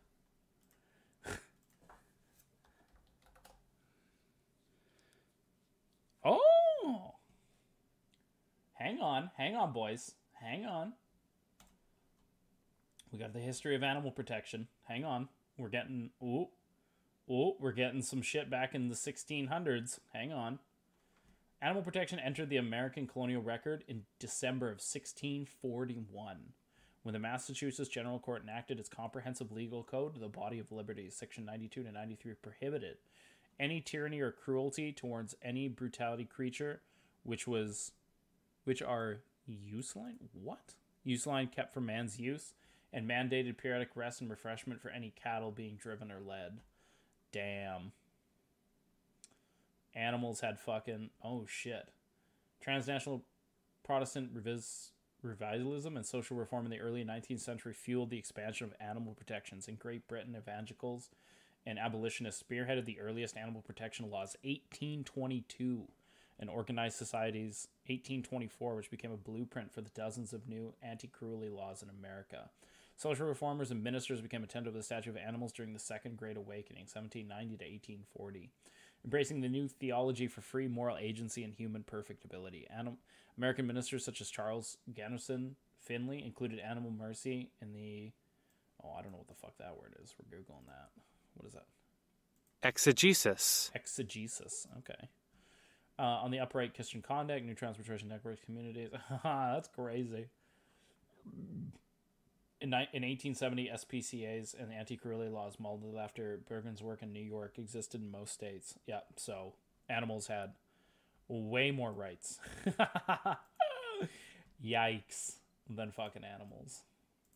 In Or terms of sorry, women women had less right than animals. Animals had more rights. more That's wild. to divorce. Uh, well, if you look at who's initiating the divorce, it's like 80% women. So I don't think it's exactly the man just being emasculated. I think it's more of what maybe the uh, more incel types in the crowd would recognize as hypergamy. Women, regardless of their income, Could it like when they're like, "Oh, women just initiate more divorces"? Yeah, it's because they're unsatisfied with how the men are acting. It means the men are acting like garbage, and they want out of those fucking relationships. Like they use this as like, "Oh, look at these women; they just want out of these relationships." Yeah, why the fuck do they want out of them, John Doyle? Why the fuck do you think they don't want to be there? Do you think it's because they're having a good time and they feel happy in that relationship and they feel like their needs are being met, or is it because the men in that relationship are just absolute fucking dog shit and they and the women realize they can do fucking way better for some of these men? um, want men who earn more than they do. All across the world, all throughout time, they are attracted to resource and status. I mean, this is just the way that these things go. Um, in terms of why do they still do housework, it's not because they're trying to coddle their stupid husband. It's if you look at the way that men and women solve problems, men solve problems by looking at it and reducing it to its most componental forms and kind of solving it from there. Women tend to be much more meticulous. For those of us married, you might recall a situation where you were assigned to do a chore and you did it because you're not like this character. the minute you did it, and your wife comes by and she's like, "No, you, let me do it. You didn't do it right. That's just the way." So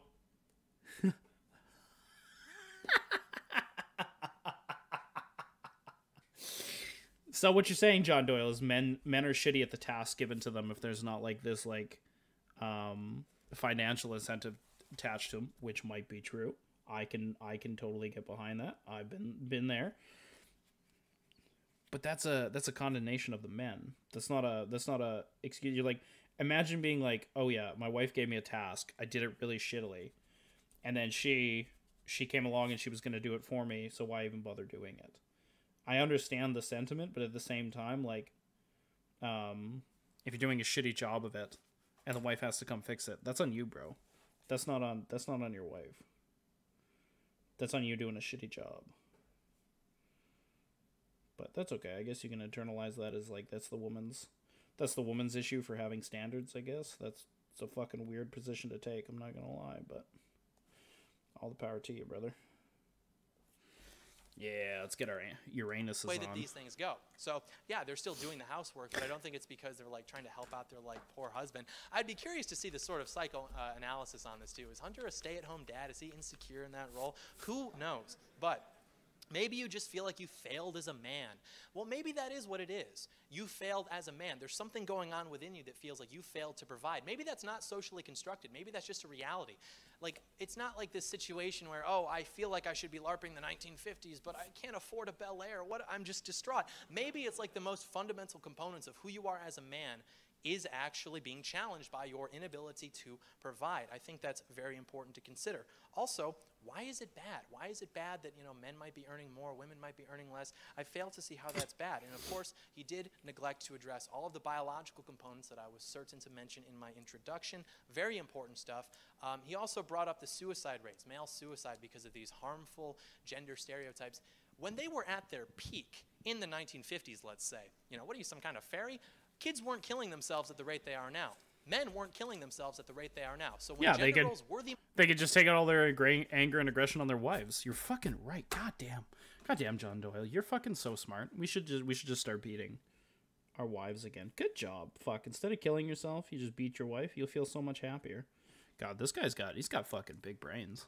Most strict, the suicide rates and the depression rates in both genders. Where's my orange? There it is. I see it. That computes. Um, equal partnership is another thing he brought up. I would be curious to see how they define that. A lot of married couples I know who are more traditional consider themselves equal in the sense that the man provides, the woman takes care of the other things. Um, and you know, with the divorce court thing, I think it's also fair to say uh, they tend to frame men as they take care of the other thing. women as, like, you mean. You mean the like, family? Liberal judge who's like, oh, the women are just so good at nurturing. It's going to be like men are evil. So. Okay.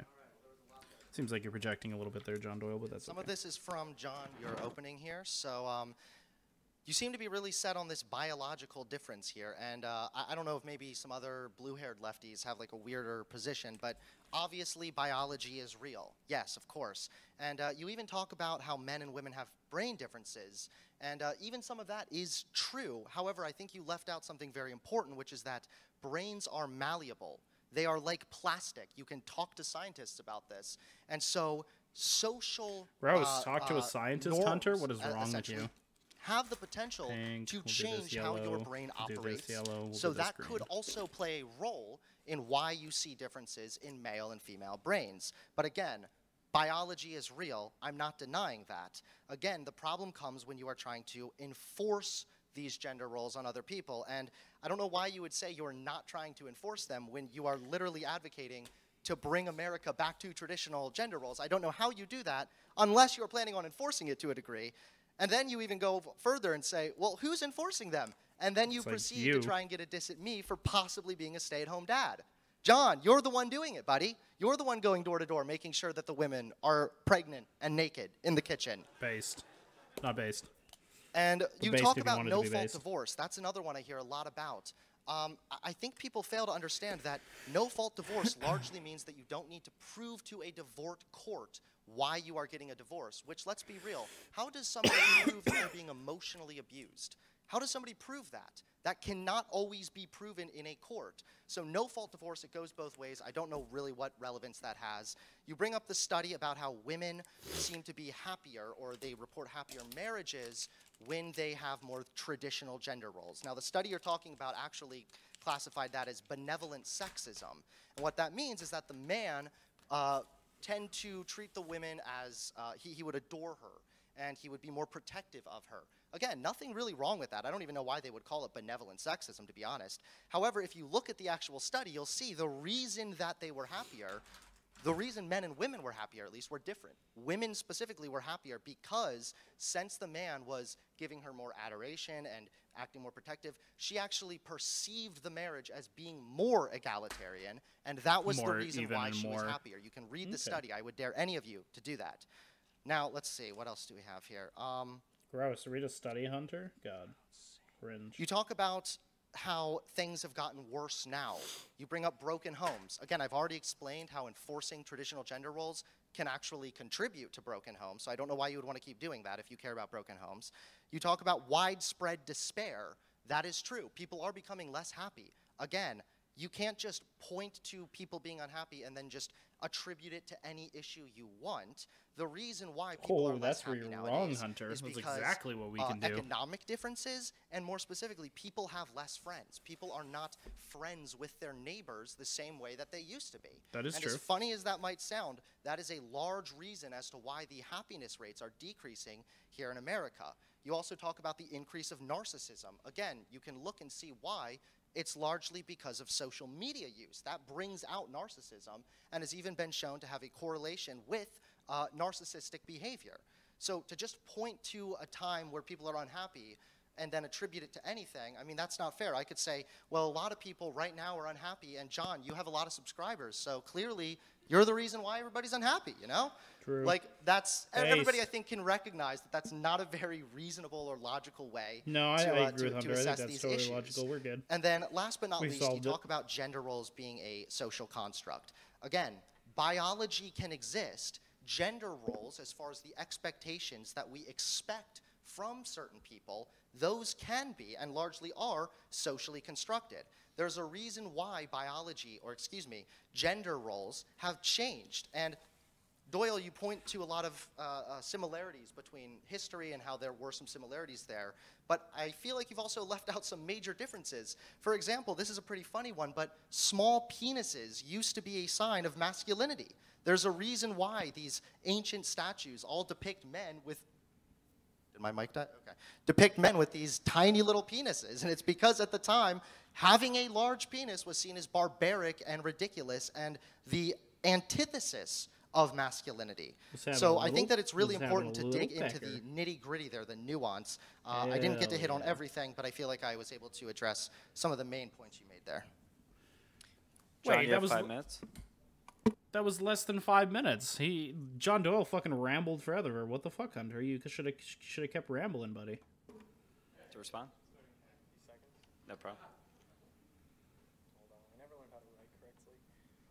Um, so he acknowledged correctly that biology is real. Real.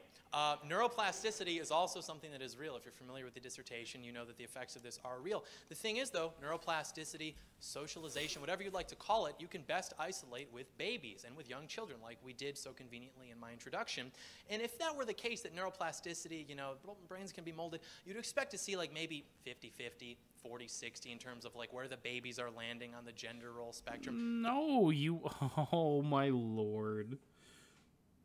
To do a study like that, would you would have to remove the the child from every. You'd basically have to raise the child in an environment that has nothing to do with any other part of society, because there's going to be like you can't just look at a baby and go, "Aha, this baby clearly clearly is defining masculine roles," even though you know therefore it must be this when you have so many factors like it's not even just the baby because the baby like fuck. a lot of old parenting styles in my opinion were based on the premise that some the child was doing something wrong and it wasn't the parents doing something wrong so a lot of old parenting styles sought to correct the actions of the child while not addressing anything the adults were doing um, to that child to make that child that way right? Like when we see when we see like an over aggressive child we don't uh, immediately blame the parents. We go oh that child is misbehaving. That child is in the wrong right? Which is right for the for the for the initial kind of investigation. But when we when we dive into it more we have to wonder well hang on. How did the child get that way? Why is that child so aggressive? Is that is that aggressiveness based off just that child existing or is that aggressiveness based off of something that has been learned or taught through the way that the the parents and the other adults in that child's life are interacting with them? And it feels like in a lot of ways john doyle's thing is like you have these babies and they're they're just spawned out of the fucking mother already having all these gender roles hardwired built into them. And that's why he keeps bringing up these studies instead of like really wrestling with the idea that it's it's how the parents are raising these kids um, the so like the socialization and the and the nurturing and the and all the little things because there are certain things that your child might be more dispositioned towards based off of like your personality style or what you have right certain other traits might come out but when you hardcore focus on those traits as a parent they're going to be the things that like shine the most out of your kid so it's just it's very weird It's one to one. It's 100% of the time. Also, in terms of how enforcing it, are we really supposed to believe that Hunter Avallone gives a damn what I think about anything? That me making a little quip about a stay at home dad is somehow making stay at home dads insecure in the role? Absolutely not.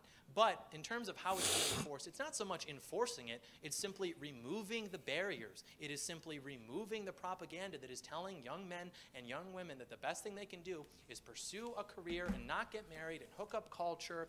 And women wanting children is like outdated and cringe, and it's actually empowering to be a sentient fleshlight.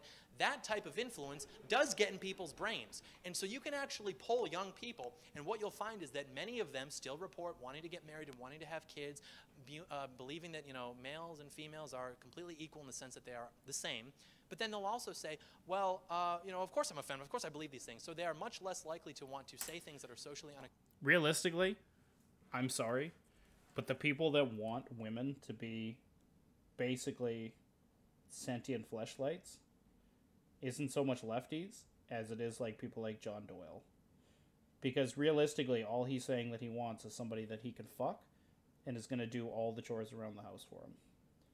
That's literally unironically what he is telling people that he wants. So if anybody's looking for the human fleshlight, it's fucking John Doyle. acceptable, but they still believe in their brains that they want to pursue things that would be regarded as more traditional.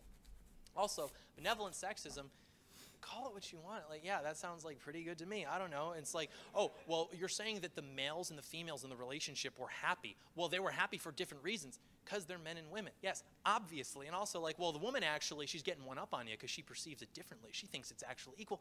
Who cares? Let her think what she wants. You know, like, okay, do your thing. That's fine. It doesn't really matter. It doesn't have an effect on the relationship. Everybody's happy. Everything's fine. He is correct about the less friends, uh, the relationships in general being in decline. It is true. This is symptomatic of industrial society, of technology, of things like that. And of course, these are problems and they have caused you know, relationships to degrade. I am simply trying to remove the influence of the people who are purposefully trying from the top down to psyop young men and women into pursuing a life of hedonism as opposed to a life that is And there we go, back to the religious argument. In terms of suicide, depression, Back to the like that, religious As argument. mentioned in my intro, males and females experience depression much differently. Men are more likely to feel depressed if they feel like they have failed in their role. Females are more likely to feel depressed if they sort of are off put by the environment. Why are they feeling that? Why are they feeling that depressive nature if they're failing in their role, John? Why would they feel that way if society isn't shaming them? John, John, you're so close to the answer, John. Johnny, Johnny boy. Jonathan, can I call you Jono? You're so close to being like, oh, why are they feeling this way? Why are they feeling like they failed? It's because people are pressuring them to be in those roles, Johnny. That's why. That's why they feel this like intense pressure to be in these to be in these fucking roles. Unreal. You can also see this in their suicide rates, for example. Men are more likely to successfully commit suicide. Women are more likely to sec- uh, successfully attempt suicide. I'm sure we can see the picture. A male is in a position and men he's are like, just better at "Yeah, suicide, there's no way thank out of this." Shotgun to the head. A woman might be having an emotional episode, and just, you know, just kind of does something and goes to the hospital. Everything's fine. I'm sorry, but this is just the case. So, in terms of like what we expect from our partners being socially constructed, it's the same throughout cultures. Every single culture wanted the status, wanted the youth, wanted the beautiful young woman. That is the same. In terms of the little differences, oh, you know, this guy wanted this might say, okay, find me a big difference. Find me a culture that was like, actually, women are running the show. Actually, women are exclusively the providers, exclusively not the nurturers. There's literally not one society that does this. Also, the small penis thing, look, we've all been in high school, we've all doodled or whatever. Men just, you know, that's what we do. We plant the flag. And I think that it's probably more likely that the artists who were sculpting those sculptures knew that if they made a more accurate depiction of the male appendage, that would be all that people looked at. So I think it's actually Yes. historic. How the fuck? I'm actually curious. Let's go. Let's go. Let's go count. Let's go check these facts. Let's check why the statue's got small peepees, and why it's bugging John Doyle that we talk about small PPs.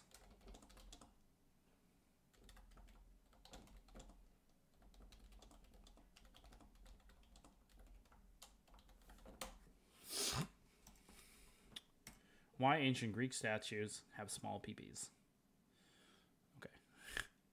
Okay. Make sure we're not up. Uh, ancient Greeks famously fetishized the male body in sculptures that represent powerful, illustrious men as hulking figures with taunt, rippling muscles. Sometimes these figures appeared partially clothed or draped in cloth. Often they were stark naked. To the contemporary eye, their body their bodies are ideal, except for one ahem, seminal detail. They have small to very small penises compared to the average of humanity. Uh, art historian Andrew Lear, a specific a specialist in ancient Greek art and sexuality, says, and they're usually flaccid. Countless contemporary art lovers and historians have also been struck by the modest nature of the phallus feature in classical sculptures of gods, emperors, and other elite men from Zeus to celebrated athletes. The small members seem at odds with the massive bodies and mythically large personalities um, they accompany, but the ancient Greeks had their reasons for this aesthetical choice. Rewind to the ancient Greek world of around 400 BC, and you'll find that the large erect penises were not considered desirable, nor were they a sign of power or great strength.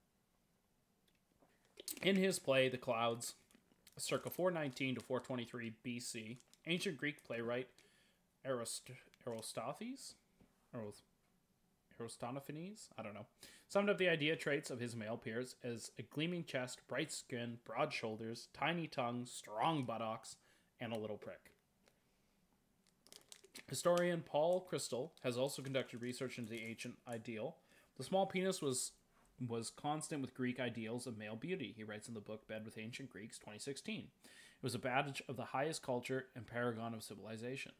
In ancient Greek art, most of the great man's features were represented as ample, firm, and shiny.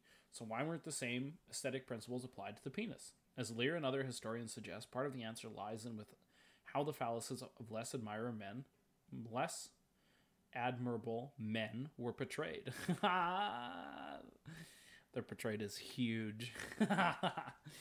Lustful, depla- depraved satyrs, in particular, were rendered with very large, erect genitals, sometimes almost as tall as their torso, based. According to mythology, these creatures were part man, part animal, and totally lacked restraint. Ah, ah, ah. I see. So, like, the idea of a big penis is basically you are the sexual deviant. You're out there, you're constantly erect, you're constantly looking for sex, you're constantly looking to use other people. It's like more of the selfish take, whereas the small penis, he was, he was very strong, very stoic. He could present himself as being strong. And, like, one of the biggest thing, one of the biggest things about being strong and being, um, you know, masculine is your ability to, in a lot of ways, curb yourself or curb your desires, right? Okay, I can see it. Big penises were vulgar from the outside of the culture norm, sometimes sported by barbarians of the world, writes Chrystal. Indeed, across many ample pots and frenzy, well endowed satyrs can be seen drinking, pleasuring themselves with abandon. In Greek comedy, fools who routinely sported large genitals, the sign of stupidity, more of a beast than a man, according to Chrystal, who did so. Who so too did our artistic representation of Egyptians, say Lear, who were longtime enemies of the Greeks. Okay, interesting. Uh, in this way, satyr fools, foes served as foils to male gods, and heroes who were honored to their self control and intelligence, along with other qualities requiring restraint like loyalty and, pr- and prudence.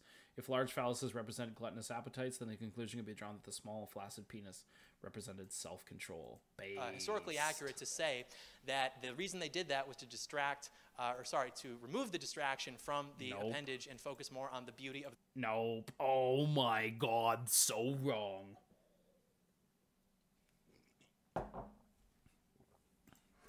Classic John Doyle L. Classic John Doyle L. Can I? No, I can't. Fuck. I have to like check your messages sometimes. I wonder if I can. Can I lower? I gotta fuck around with with. uh Oh, you can add stream markers. Oh, that's cool. Need to fuck around with moderation to allow swears the to rest get of through. the statue. And also, I would urge you, my new friend, I don't think that arguing that having a small penis is actually very masculine is going to give you the look that you would like it to. Oh, see? Oh, see, doesn't even know. He doesn't even know. Oh, bruh. 10 seconds of reading. 10 seconds of reading would have saved you so much egg on your face. Rip. You have five minutes, Hunter. Is this working? Okay. First of all, I was arguing the small penis thing on your behalf, actually. So you know. Oh. But no, all kidding aside, um, y- you're, you're just wrong about little the, bit of s- the toxic small penis masculinity, thing, let's okay, we should focus on that a little bit more. But no, but seriously, these. First of all, I'm not arguing that having a small penis nowadays is masculine. I'm He's still arguing. fixated on it. Come on, we're all adults here, guys. Let's go. I'm arguing that at one point that was considered masculine. And no, it wasn't just because they were worried that people wouldn't pay attention to the other sculpture. You can read about this from historians. Ancient Greece specifically sculpted men with small penises because that was called, considered the, uh, um, the, the highest degree of what they would consider then male beauty. You ask for an example of when women ran the show. Again, I think that you're a little confused here. Biology is real. For a long, long time, men have ran the show, and that is largely because they have testosterone. They are stronger, yes. When, they're, when we were back in the cavemen days, or the days in which you needed to be out doing physical Yeah, labor see, and this is this. I think then yes, uh, men were obviously most women have to be better adapted, but I don't think they most have men have been able to change. Again, I am not denying that there are biological differences between males and females. What I'm saying is that just because at one point men And I think a lot of it has to do with upbringing. I think my son is going to be very well adapted for like new generations of like dealing with people and being able to be by himself and like he'll starve off I think a lot of the loneliness that other men feel um, because he'll find like meaning and like purpose by himself and like um, being able to enjoy a lot of things that don't require like these hardcore like there's no real expectations with him in life. It's kind of like be yourself um, just live a good, basically live a good life. Um, there's nobody like expecting like a ton out of him or shit like that and i think that's probably like the healthiest way to be were the providers due to testosterone does not mean that nowadays, since testosterone is not nearly as important for providing, considering a lot of labor jobs have significantly decreased, that shouldn't be an expectation that we force on men or stigmatize them if they just don't adhere to that. You also bring up the baby boys.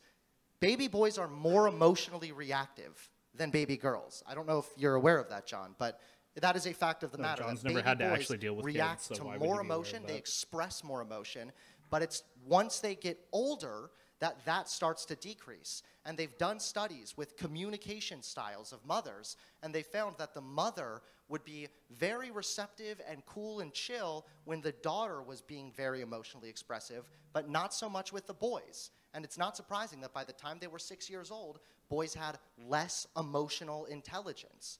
A lot of that is, again, because of socialization. You ask why I care, what your opinion is. You say, do I honestly think that uh, anybody is going to, or, or why I would care about what you say. But then you go on to say that hookup culture gets in people's brains. If hookup culture and these other ideals can subconsciously get in people's minds, I don't know why your ideas couldn't, unless you're really willing to bite that bullet. I guess you're really just that insignificant if you want to go that Nobody- way. nobody's But receptive to John Doyle's a lot of ideas based. can be attributed to Let's go. expectation. It's not that there are no differences between males and females. It's that expecting males and females to act a certain way solely because they might be biologically predisposed to this behavior does more harm than good. It destroys families. It negatively impacts children.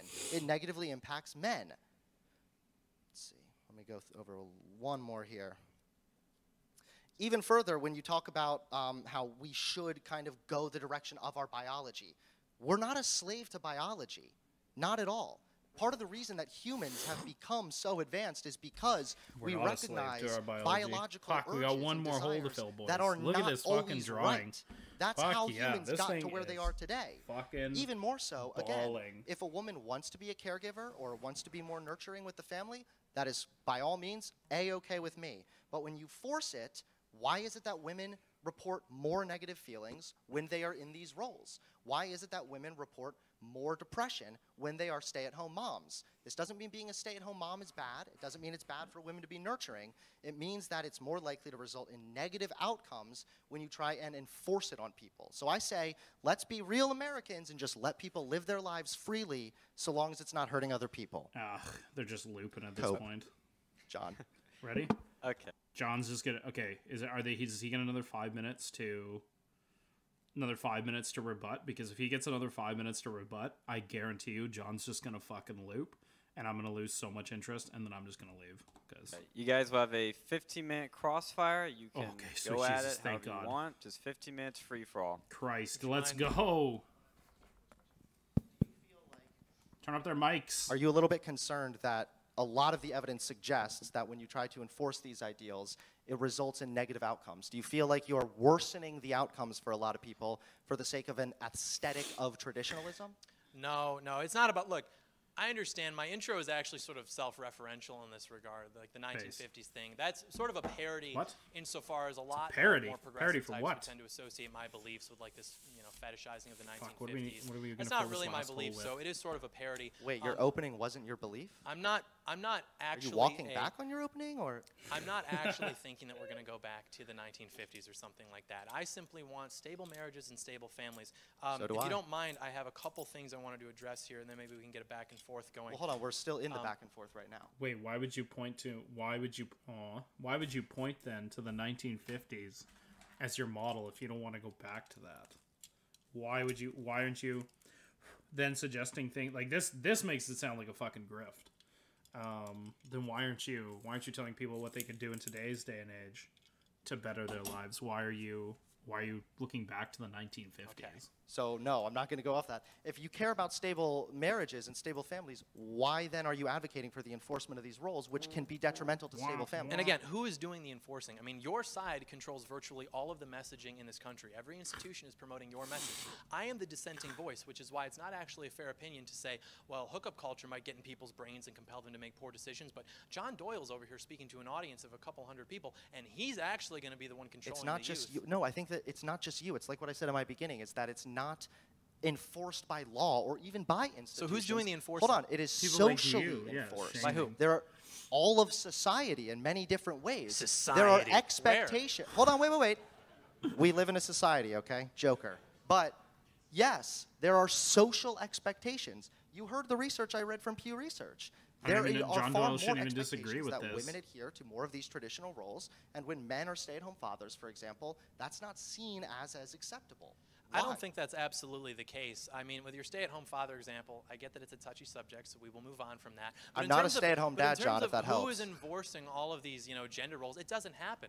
I'm young enough. You're young enough to remember having gone through the public education system, having gone through the cycle of programming to which we were exposed. There was never at any point this like, "Urgh, girls have to be these like handmaid's tale slaves and they have to stay you're, at you're, home. do- you're It doing it. You're doing the thing where you straw man and make it seem like It nobody's exactly saying you must not cry or you are a little bitch. Nobody's saying this. It is exactly now, first of all, I recognize that you want to keep going back to the stay-at-home dad thing because it probably bothers you that I have a wife and two children and I'm living the trad life. You're living the mad life. I get it. But even more so, I, I, I'm when I'm talking about these social expectations, they are subtle, John. They're not these uh, in your face telling people that they must agree or must believe this way. They've done studies, for example, where they have asked middle schoolers draw a picture of a scientist. Virtually everyone in that study draws a picture of a man. There's a reason why these sciences, for example, are perceived as a more masculine career. That is social conditioning, which we can change. Um, the reason that they draw a scientist as a man is something like 90% of scientists are men or something. The why? Same reason, the why is reason, that? Thank you for proving my point. Yes. Because males excel in the higher levels of things like the hard sciences and things like, I mean, even as I read in the intro, the ratio is 13 to 1. Boys that score over 700 on the math section of their SATs compared to women, it's 13 to 1. That is biological, the same way that women are more likely to pursue things like early education, things like nursing, than are men. That is biological. Also, I just can't believe the- you're telling me the What? People make are just biological, as if it's not a super complicated. Hold on, as if there's not a super complicated and nuanced thing that goes on between yes, some biology, but also social. We are all a result of our biology interacting with society. The social The decisions we made are not just purely biological. Of the scientist, the scientist can't be found in nature. That is a social construction. The me- uh, construction, the mechanisms in our brain making us want to go towards those things are biological. Those are innate. Also, the quip about you being married and me not. You'll have to refer me to which Norman Rockwell painting depicted you knocking up a woman, walking away, hooking up with another woman, and then going back to her once she was pregnant. I don't think that's very traditional. I will say that. I will tell you. Now you. it's very cute that you have like this tabloid understanding of what happened. Maybe if you've been reading up on some celebrity news, but virtually none of that was true. What you Wrong. just said, but even Wrong. more so. Well, I know it's easier for you to derail into ad homs when you're But even still, obvious. it, it doesn't matter because Hunter's still married with kids. like, he still he still has you there, but that's okay. getting demonstrated to be completely wrong here. So men going into sciences is largely because it's expected to be a masculine and male career. Why? Wi- hold on. Women have made massive contributions to the sciences, even in a time when women were not expected to, or were even actively discouraged from pursuing those things. True. Now it is more acceptable, but there are still subconscious biases that take place. This is why you can see, like, how, how common is it for a little boy to hear, hey, you should go pursue math? Hey, you should go do science. You should do these things. It's not that they're going to actively say, you're a girl, you can't do it. It's more. You know what my son tells me when he uh, when I ask him what he wants to do in life? You know what he tells me? He tells me I want to be a daddy. How fucking based is that? that's so what he that, that's what he that tells might me. just not be encouraged for them. And if we know that something as subtle as another study I'll reference real quickly is we know that something as subtle as just having a picture in the textbook that depicts a masculine or a man in, uh, as a scientist is less or it negatively affects women's ability to succeed. There was something that happened in the uh, late 90s called the Scully effect. I don't know if you're familiar with that, but when the X Files came out, it depicted a female scientist, which wasn't like the first time that happened, but after that, it was called the Scully effect, where a huge increase of girls wanted to be scientists. There is a social component here. It's a lot easier and almost lazier to just say, ah, it's just brains, you know, men are men, women are women, okay? It's a lot more difficult to contend with what we can actually change. Nobody's denying that men and women are free to pursue the roles as they will, but we know that throughout, uh, what is it, 800 BC to 1950 AD, virtually 90, per, or excuse me, 95% of all technological and scientific innova- innovation came from European men. The idea that that was happening because they were allowed to, and all these women with all these great ideas were just being shut out of the discussion, is just frankly not true. Also, the idea that negative stereotypes are preventing women from going into these fields, we know that's not true as well. There have been several studies proving that if you discourage women, you can't be a scientist, you can't be a doctor. It literally does not affect either their performance nor uh, their interest in those fields. There was a study, though, recently in 2021 that tried to review all of that and say, no, this actually is the case, and then they got caught fabricating their numbers. In terms of the X Files thing, maybe, but I mean, that's the 1990s. Look, I mean, you're reaching like the peak of when all this messaging, which I can't Wait. believe you complete deny the fact.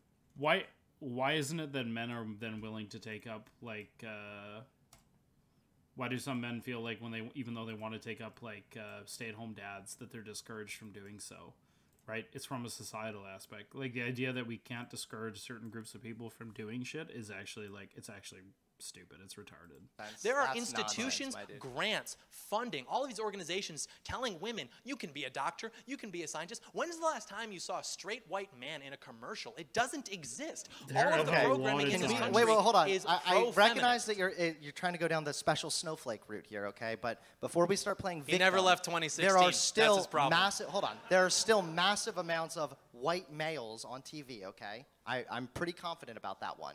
But again, even if these institutions are trying to push forward an idea that women can do it, you're ignoring the social component. There is, in fact, different social expectations and stigmas. And I, again, I keep going back to the stay-at-home dad thing because you're trying, you're, you're talking out of two sides of your mouth. You're saying there's not really much of a social stigma, but then you're perpetuating the social stigma. You're trying to discourage women from pursuing these career fields. And I don't know why that is. That's women are not a slave to their First of biology. all, on the, the stay-at-home dads thing, I have no jealous. ill will or disrespect towards dads who are staying at home. What I am discouraging is the idea that these roles are malleable and it's a simple coin toss. I am saying that men and women or men and women flourish best when they are following their roles, when they are pursuing what is complementary to them no in no their no no. nature. no no men and women flourish when they feel like they have purpose and meaning in life and that that purpose and meaning is being fulfilled at the end of the day it honest to god does not matter what that purpose and meaning is as long as you have that purpose and meaning. And we know this because that is like that is people's biggest reports of why they feel lonely why they feel lost why they why they don't feel like they fit in with society is that they're lacking the purpose and the meaning and the drive in their lives. Um, so i think it's kind of silly that you would say oh it's just when they're filling their, their roles. It's like to some degree you are correct. It is when they're filling their roles. But the roles are arbitrary and the roles are going to be different from each person. It might be that my role in society is being a stay-at-home dad because it's something that i excel at. It's 50-50 or it could be that my my role in society is working my concrete job because that is where I fill in best for society because it allows me to provide for my family and I feel like my role is being being fulfilled as a as a father and as a parent, right? Um, it all depends on how your how your perceived role is is in society and if you're able to find your role and kind of fill into your niche because there might be a lot of like there might be a lot of like traditional dudes that want like a stay-at-home parent right but that they're actually more willing and more suited to be that stay-at-home parent but they just never had an opportunity to try and fill in that role um, because they've been told that they can't do it because it's not it's not a man's place to stay at home so works both ways role- I'm not. That changes. What a role is, what a role is for a man, has changed significantly. And you say that, but that's not actually true. It may have changed in terms of things like attire, aesthetics, penis size, but what doesn't change is the Lucky fundamental role of the man as the protector and the provider. Even in the, the societies where men are spending the most time with children, the nurturers, I believe it's like the Aka pygmies in, in Africa, even then, the males are only spending about 40 minutes a day with the child, and the women are still spending 10 times amount that time. So you can say that, oh, the differences are malleable. The big differences are not. I don't really care what some guy's hairstyle was. Turtle, what is happening? How you doing, Turtle? How long, on average, do men spend with their kids? We'll do USA. Average amount of time parents spend with their kids. Are you a parent that feels guilty about not spending enough time with your kids every day? Perhaps you're chasing money and prestige more than you should. Good news. The average amount of time parents spend with their kids today is shockingly low. The amount of time is so low, it makes me question the veracity of the source. OurWorldInData.org. The kind of like when you hear it's often cited 40% of Americans can't come up with $1,000 in an emergency. Is that really true? Uh, okay, we'll go through it, but we'll have to go check it. In our world, data offers the average amount of time parents spend with their kids uh, per day. Haha, true. That's not for that's not for us us plebs. Fathers, mothers. Wow, fathers have shot up quite a bit. So in this one, in our world data, they have United Kingdom. Oh, we'll switch over. You United Kingdom at you know the women 150 minutes, men 100 minutes, and you can see that we're we're uh, steeping. And actually, it looks like both the univer- non-university and university curves are actually, well, except for in France, are actually kind of in the same. No, they're they're still lower. Which is this wouldn't surprise me though. The non-university educated, you're probably working more menial jobs that require you to work more hours. So the university people probably get more time off. Same again, all the way up 100. Wow, the unit, the uneducated or the non-university educated women in in Slovenia really get fucked. Same with holy shit, and same with the men. Their time is decreasing for the uneducated. So that's more of like your lower class having issues, right? Spain is holy shit, almost 150 minutes. Same with not even quite 100. United States, they both ticked upwards for both. Man, Denmark's. Look at Denmark's. Uh, on a non-university educated, both men and like um, women are like right in line with each other. That's super impressive. The average amount of time university educated mom spends with their child is 120 minutes a day. In America, the average amount of time university un oh the amount blah, blah, blah, blah, university educated dads spend with their child is just 85 minutes. Um, non-university educated spend about 20% less of the time, which isn't surprising. What the hell is going on here with 24 hours a day? How can be average? How can parents be spending on average so little time with under 13 year old children? I'm not sure, but they they must. I would assume by this graph they must for for parents. Uh, typical typical day for a working parent. Let's say at four years old, your son wakes up at 7 a.m. You greet him good morning, let him go to the bathroom, change clothes, feed him breakfast. That's an hour right there. Okay, from 8 a.m. to 8:30, you read him stories and play a few games with him. Now we're at the one and a half hour mark. At 8:30, you drop him off for preschool, even though there's a global. oh, Jesus. You pick him up. Jeez, Louise. You pick him up at 4 p.m. and you go for another walk after giving him a quick snack. Hey, Callie. Then you play with him 4:30 to 6:30. Now you spent four hours with your son. Wait, you play all the time from 4:30 to 6:30 with him? Holy shit! He eats dinner for 30 minutes with you, and then it's another 40 minutes of play time before bath and teeth brushing. Then you read him a story before going to bed at 8 p.m. Tallied up, you spent a total of five and a half hours with your son, who has also got preschool. That's 330 minutes versus the average 55. Yeah, but we're talking about the average. Like this is this is pretty this is pretty privileged. This is this is not a typical day for a working parent. Fuck off. Show me the data on that. This is more like you're waking your son up at 7 a.m. to get them to fucking daycare for 7:30. Who the fuck is getting their their four year old up at like this must be some nine to five shit. But even then, it's not because you're picking up. This is a fucking stay at home parent. How the fuck is this a working parent? This isn't a working parent. This is a fucking stay at home parent. A typical day for the stay at home parent. Okay, now I'm now I'm super curious. Who I'm super curious. What's the typical day in this guy's mind for a fucking stay at home parent? Oh shit, the kid's a year older than yet now. It's three. Okay, your dar- your day may start at seven and end at eight p.m. That's thirteen hours. You are not spending, as a stay at home parent, a full 13 hours with your fucking kid. Unless there's like literally nowhere else for that kid to go. And even then, your kid should be playing alone with them with them like playing alone for still a good portion of that, okay? Um, let's say you're supposed to grandparent helps you out for four hours a day. That's still nine hours. uh, let's say both parents retire early. Even if you split the time 50 50, that's six and a half hours of 390 minutes of time with your child spent a day. I do not believe there's no fucking way this is the typical day for a working parent. Um, and I don't know why they wouldn't do four years old here too for a typical day of a stay at home parent because a four year old is still going to preschool. This, honest to God, this sounds like the typical day for a stay at home parent when your child is four. And this is probably a typical day for when your child is three, but it's going to change, right? And the big thing is, is like, okay, how old were the kids in the study? Did they say under 13? You know that you know what probably really starts to drop this shit when your kid enters school. Right? Because I noticed that he goes it says under 13, but he's talking about a 4-year-old and a fucking 3-year-old. The two groups of children that require the most fucking time. The most time. Oh my god, those kids require so much fucking time. It's in my Discord.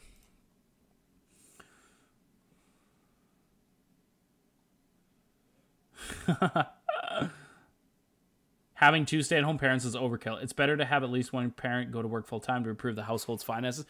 How the fuck could you have two stay at home parents? How the fuck could you have two stay at home parents unless you literally have fucking Skrilla for days?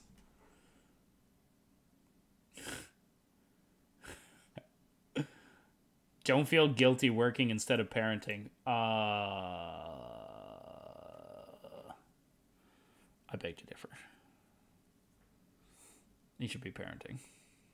You should be trying to balance it.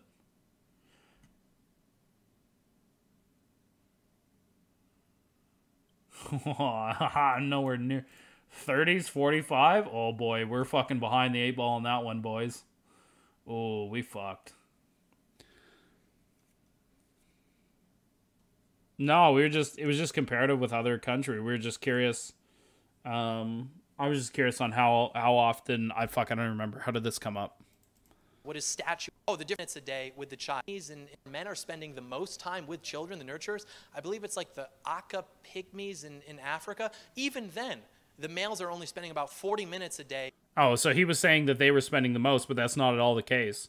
You have United Kingdom at 100 minutes, Canada at 100 minutes, France at like almost 50 minutes, Germany uh, probably 70 minutes, Denmark over 100 minutes, Italy over almost 100. Like John Doyle is just so fucking wrong. He's so stupid.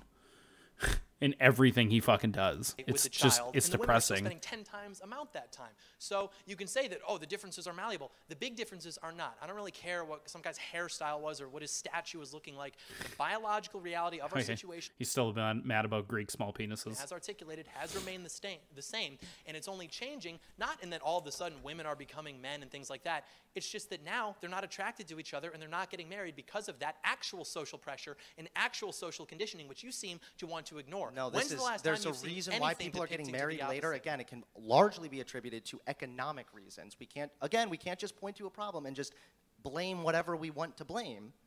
It's largely oh, because beg of economic Already done it, Hunter. why people are getting married later in life.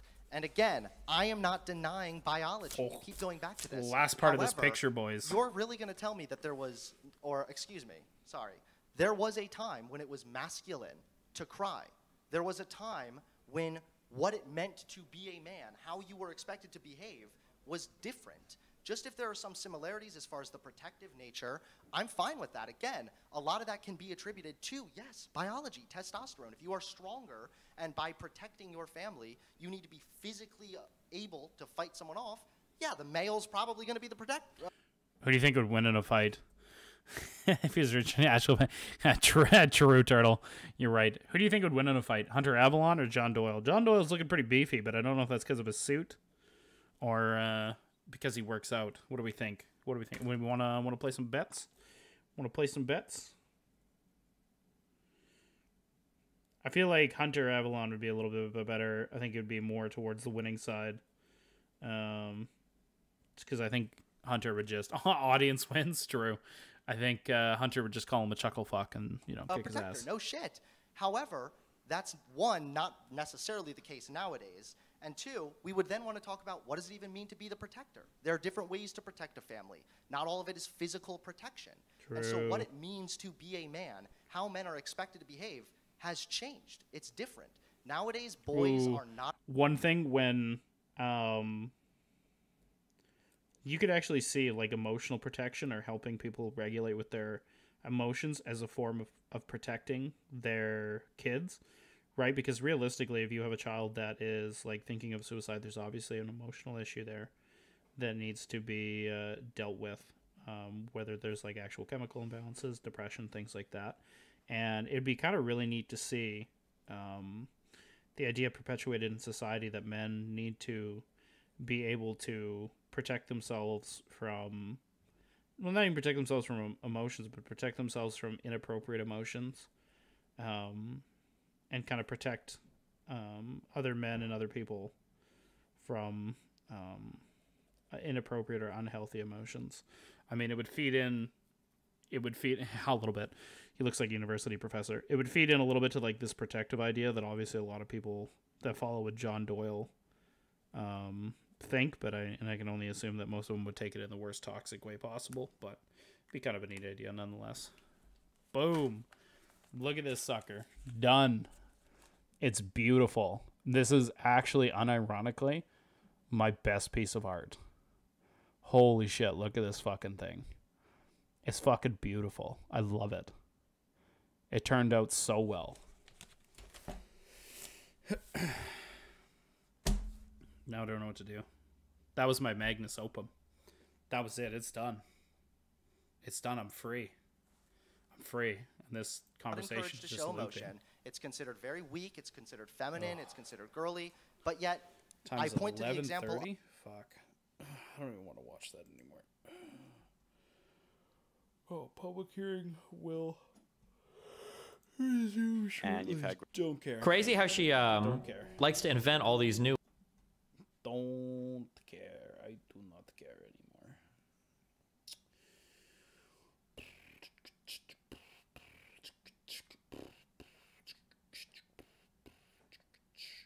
Man, now I don't know what I want to do.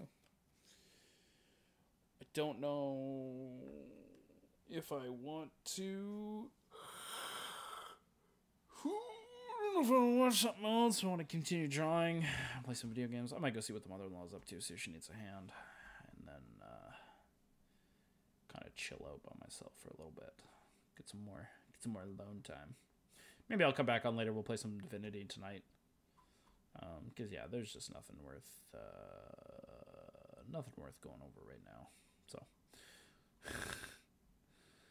um.